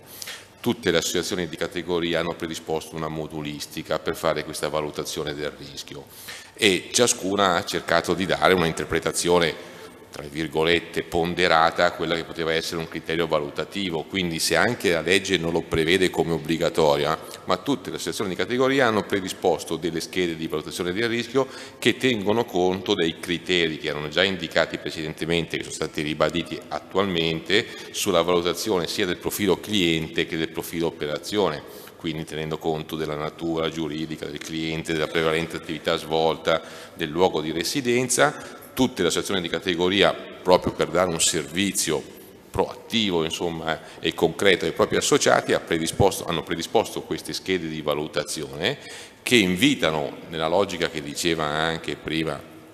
il eh, vicepresidente Pezzetta, a fare di più di quello che la legge impone di fare, perché non c'è scritto da nessuna parte che c'è l'obbligo di tenere per iscritto questa valutazione come è stata eseguita, ma è un servizio aggiuntivo che all'occorrenza, in caso di verifica, dovessero venire a distanza di anni a fare una verifica su un cliente magari che si è avuto 5, 6, 7 anni fa, con la scheda di valutazione del rischio già compilata si offre immediatamente e tempestivamente quella valutazione all'organo venuto a fare la vigilanza. Quindi, ripeto, benvengano tutte quelle iniziative che non siano considerate come obbligatorie, ma che sicuramente aiutano in quello spirito di collaborazione che ricordava sia lei che il sottosegretario prima da parte di tutti quanti nel soddisfare e adempiere, assolvere a questi obblighi antiriciclaggio. Bene,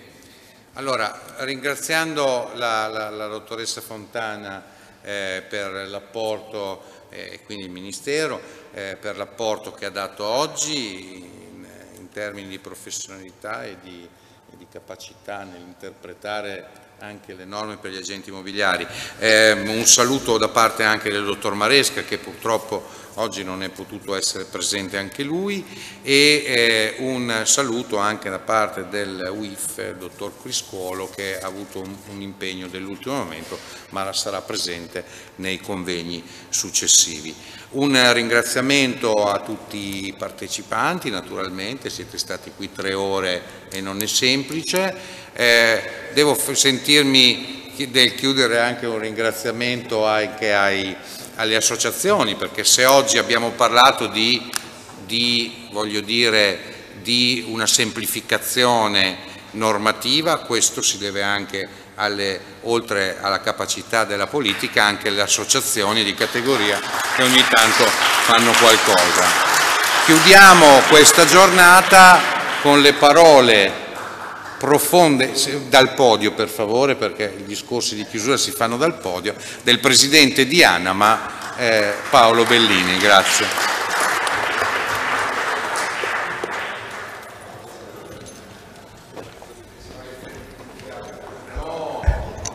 No, no, no, sembrava la, la, chiusura, io ero felice, no? sono partito da, da, da, Rovigo questa mattina alle 5 per venire a fare le conclusioni, sentivo già le conclusioni, ma non era un problema perché penso che la, veramente l'ambiente che si è creato oggi e, la, e i contenuti di questo convegno ci portano a dire che sono quasi inutili queste conclusioni, ma magari vi servono, ci servono per dare, direi, chiarezza ad alcuni elementi. Allora, uno, mai come in questo momento sentiamo la uh, mancanza del ruolo. Il ruolo che ci è stato soppresso dalla Unione Europea oggi più che mai sarebbe lo strumento necessario per dare a questo organismo il compito di segnalare per noi le eh, operazioni sospette. Dice bene il collega Roberto Radicchi, preparatosi alla formazione Anama a dovere, che questa categoria ha ovviamente una sorta di attenzione al contrario, noi siamo agenti immobiliari e come tali lavoriamo, vero, per raggiungere un obiettivo che ce lo dà poi il codice civile di concludere o comunque favorire la conclusione degli affari. E su questo abbiamo due clienti a cui fa riferimento, uno che è l'acquirente e che ovviamente è un soggetto da noi coccolato, da noi seguito, da noi, eh, come posso dire, portato in un, in, una, in un podio importante perché oggi più che mai il cliente è fondamentale. Si dice che la crisi sia stata eh, appunto eh, sia nata per la mancanza di domanda, vero? di eh, acquisto. Dall'altro abbiamo il venditore. Il venditore è colui che ha desiderio di fare un disinvestimento, vuole cambiare il modo di, vero, di tenere i suoi soldini eh, ben investiti. Un tempo si diceva i soldi li lasciamo nel mattone perché il mattone non ci tradisse, oggi non vediamo altro che la gente che scappa dal mattone perché il mattone purtroppo pesa. E pesa cosa? Pesa il peso il, delle imposte, pesano i, i, dati della burocrazia per la gestione, per il mantenimento, per la logica direi che fa sì che il risparmio non sia più solo un risparmio immobiliare, ma si rivolga anche ad altre situazioni. E le altre situazioni poi sono così remunerative e quindi alla fine, per fortuna, ritorna il mattone protagonista della nostra vita. L'agente immobiliare ha un problema di terzietà noi dobbiamo tutelare questa nostra figura che è stato un cavallo di battaglia di Santino Taverna e della FIMA da sempre e questa terzietà noi non vogliamo perderla e quindi al Ministero diciamo sì, se da un lato, dal lato venditore, al momento dell'incarico noi possiamo accorgerci che quel signore si chiama Reina e che probabilmente potrebbe avere il problema che diceva l'amico Roberto, ecco che dal lato acquirente no, noi dobbiamo fare una sorta di investigazione su chi è effettivamente colui che viene ad acquistare, perché non basta andare a verificare l'effettivo titolare della situazione e quindi del proprietario del bene, ma chi è il titolare del denaro che viene pagato, cioè colui che proprio porta il denaro e lo porta per un obiettivo. Ora, eh, abbiamo visto che i numeri ci danno, ci danno una fotografia chiara, non ci sono segnalazioni. E noi ce ne stiamo preoccupando come associazioni perché in giro per l'Italia ci rendiamo conto che i nostri associati non sanno come fare, ovvero vengono a sapere, come dice l'avvocato Mannani, che ci sono i nostri moduli, che abbiamo predisposto una giusta collocazione della segnalazione, ma molti hanno o paura di segnalare o non vedono l'utilità pratica di segnalare. E allora ecco che viene in auge questo famoso ruolo che ci è stato tolto, perché doveva essere questo l'organismo che ci doveva dare, come posso dire, sostituirci in questa competenza. Ora vi devo dire che questi argomenti sono argomenti eh, direi quasi quotidiani. Io mi permetto di dirvi che abbiamo degli ospiti che vengono da Mosca e abbiamo la responsabile delle vendite della Gabetti nel Vidomostro, non faccio pubblicità ma si chiama così la società, che arriva da Mosca e che sta vivendo qualche giorno di festa, ma oggi lo vive qui all'interno di questo tempio e il più delle volte mi viene chiesto ma Bellini come si diventa agenti immobiliari in Italia e quali sono gli adempimenti? Io vi dico che molte volte devo aprire una, un'agenda, un appuntamento e stare dei giorni e spiegare quali sono i mille obblighi dell'agente immobiliare. Mille obblighi che vanno dalla obbligo di segnalazione di tutto ciò che è in nostra conoscenza per una serena conclusione dell'affare, a questa normativa antiriciclaggio, nobile, per la quale noi, righi in testa, siamo a fianco delle amministrazioni perché non vogliamo essere collusi con la malavita. Noi siamo dei professionisti seri e come tali vogliamo andare avanti a testa alta.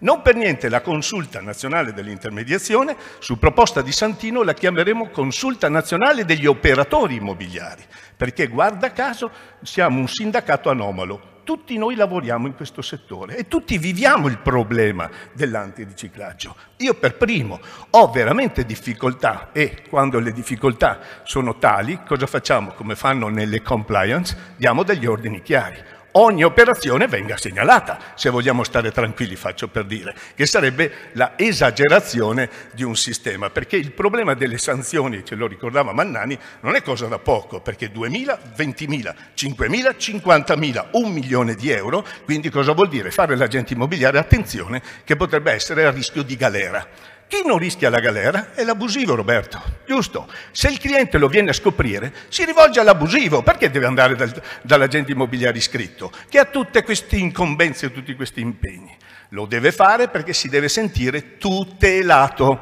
E quindi tre grandi richieste che noi dobbiamo fornire all'amministrazione pubblica intesa come governo. Uno, tutelare la nostra professione. La nostra professione, non voglio fare della demagogia, ma deve avere delle peculiarità specifiche. Dobbiamo essere chiamati per le stime e noi dobbiamo essere il punto di riferimento per le stime e non altre professioni. Due, dobbiamo essere coinvolti nelle aste e non altre professioni, ma noi dobbiamo essere coinvolti nelle aste. Il sottosegretario ci ha portato qui il portale degli immobili pubblici oggi, vero? partito oggi. Bene, vedrete che saranno i commercialisti e gli avvocati ad avere la possibilità di rappresentanza in procura degli, dei clienti, ma non l'agente immobiliare, per capirci. L'incarico dato a un agente immobiliare all'asta non libera il soggetto che compera. L'incarico dato all'avvocato fa sì che lui acquisti e agisca in nome e per conto del cliente. Quindi perché queste distinzioni? Non siamo tutti dei professionisti obbligati all'antiriciclaggio, non siamo tutti in questa categoria, quindi vogliamo la parità di atteggiamento. E poi i CTU, io sono CTU da 1852 anni, Roberto forse un anno dopo di te, ma insomma siamo tutti consulenti tecnici d'ufficio, ma che fatica abbiamo da parte dei magistrati ad essere incaricati in determinate situazioni. Perché quale motivo? Perché siamo degli agenti immobiliari, siamo degli affaristi, non siamo dei professionisti. E allora stop all'eguazione. Professionisti quando dobbiamo soggiacere a, dei, a degli obblighi ausiliari del commercio quando invece dobbiamo avere dei diritti. No, qui dobbiamo trovare un punto d'equilibrio e l'antiriciclaggio ci porta ad essere protagonisti anche di questo dibattito. Quindi una battaglia in consulta che ci adegui in un certo qual modo al mondo delle libere professioni, soprattutto per quando dobbiamo avere degli obblighi a cui soggiacere. I rapporti col Ministero e col Governo. Dobbiamo sapere che in molte situazioni tutte le associazioni di categoria hanno presentato, direi, eh, richieste di pareri, domande, abbiamo sollevato questioni perché ci arrivano dal territorio. Il territorio ci chiede chiarezza nei comportamenti e nel supporto alle norme. Ma mai come in questo momento mi sento di dire che la consulta è l'organismo che può colloquiare a dovere con il governo. Quindi ben venga, ben resti la consulta ad evitare anche situazioni un po' colorate che vediamo all'interno della nostra categoria, ma dando alla stessa, alla consulta, una rappresentatività fondamentale. Quando siamo uniti siamo forti e quindi questa forza la dobbiamo tenere, vorrei dire, con grande orgoglio e con grande, eh, come un grande tesoro.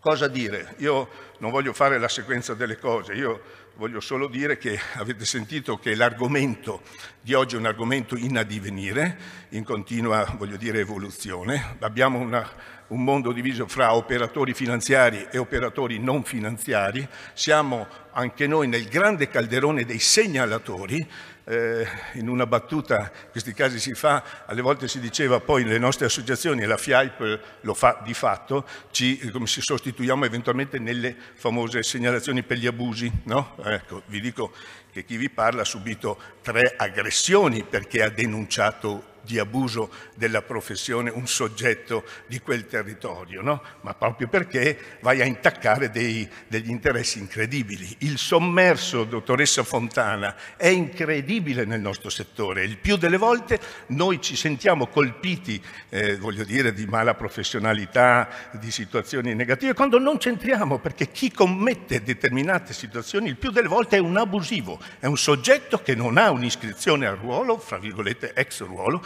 ed è un soggetto che non risponde, come diceva Roberto prima, a tutti gli adempimenti che tutti noi dobbiamo rispondere. Quindi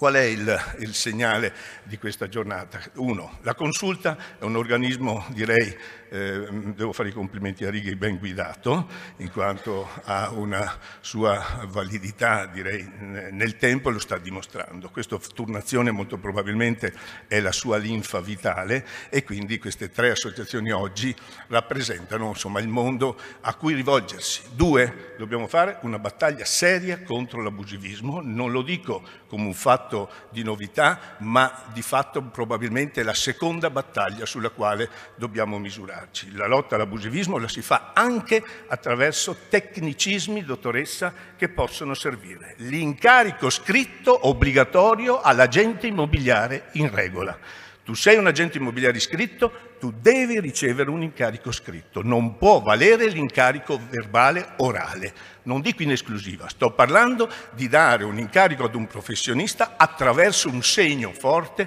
che possa dimostrare con tanto di numero di iscrizione al REA no? quale sia la sua professione, chi sia e come risponderà al tutto. Poi sapete che gli agenti immobiliari hanno degli obblighi, fra l'altro anche buoni, come quella della copertura assicurativa contro i rischi professionali, ovvero le varie altre situazioni che ne fanno di un soggetto nato come un commerciante, oggi ne fanno un professionista e se tale deve essere vogliamo parità di atteggiamento, Roberto, è una battaglia che da tempo portiamo avanti, vogliamo assolvere agli obblighi, vogliamo essere parte fondamentale del mercato dell'intermediazione immobiliare e a fianco della pubblica amministrazione vogliamo dire anche noi abbiamo contribuito a far crescere l'Italia. Grazie.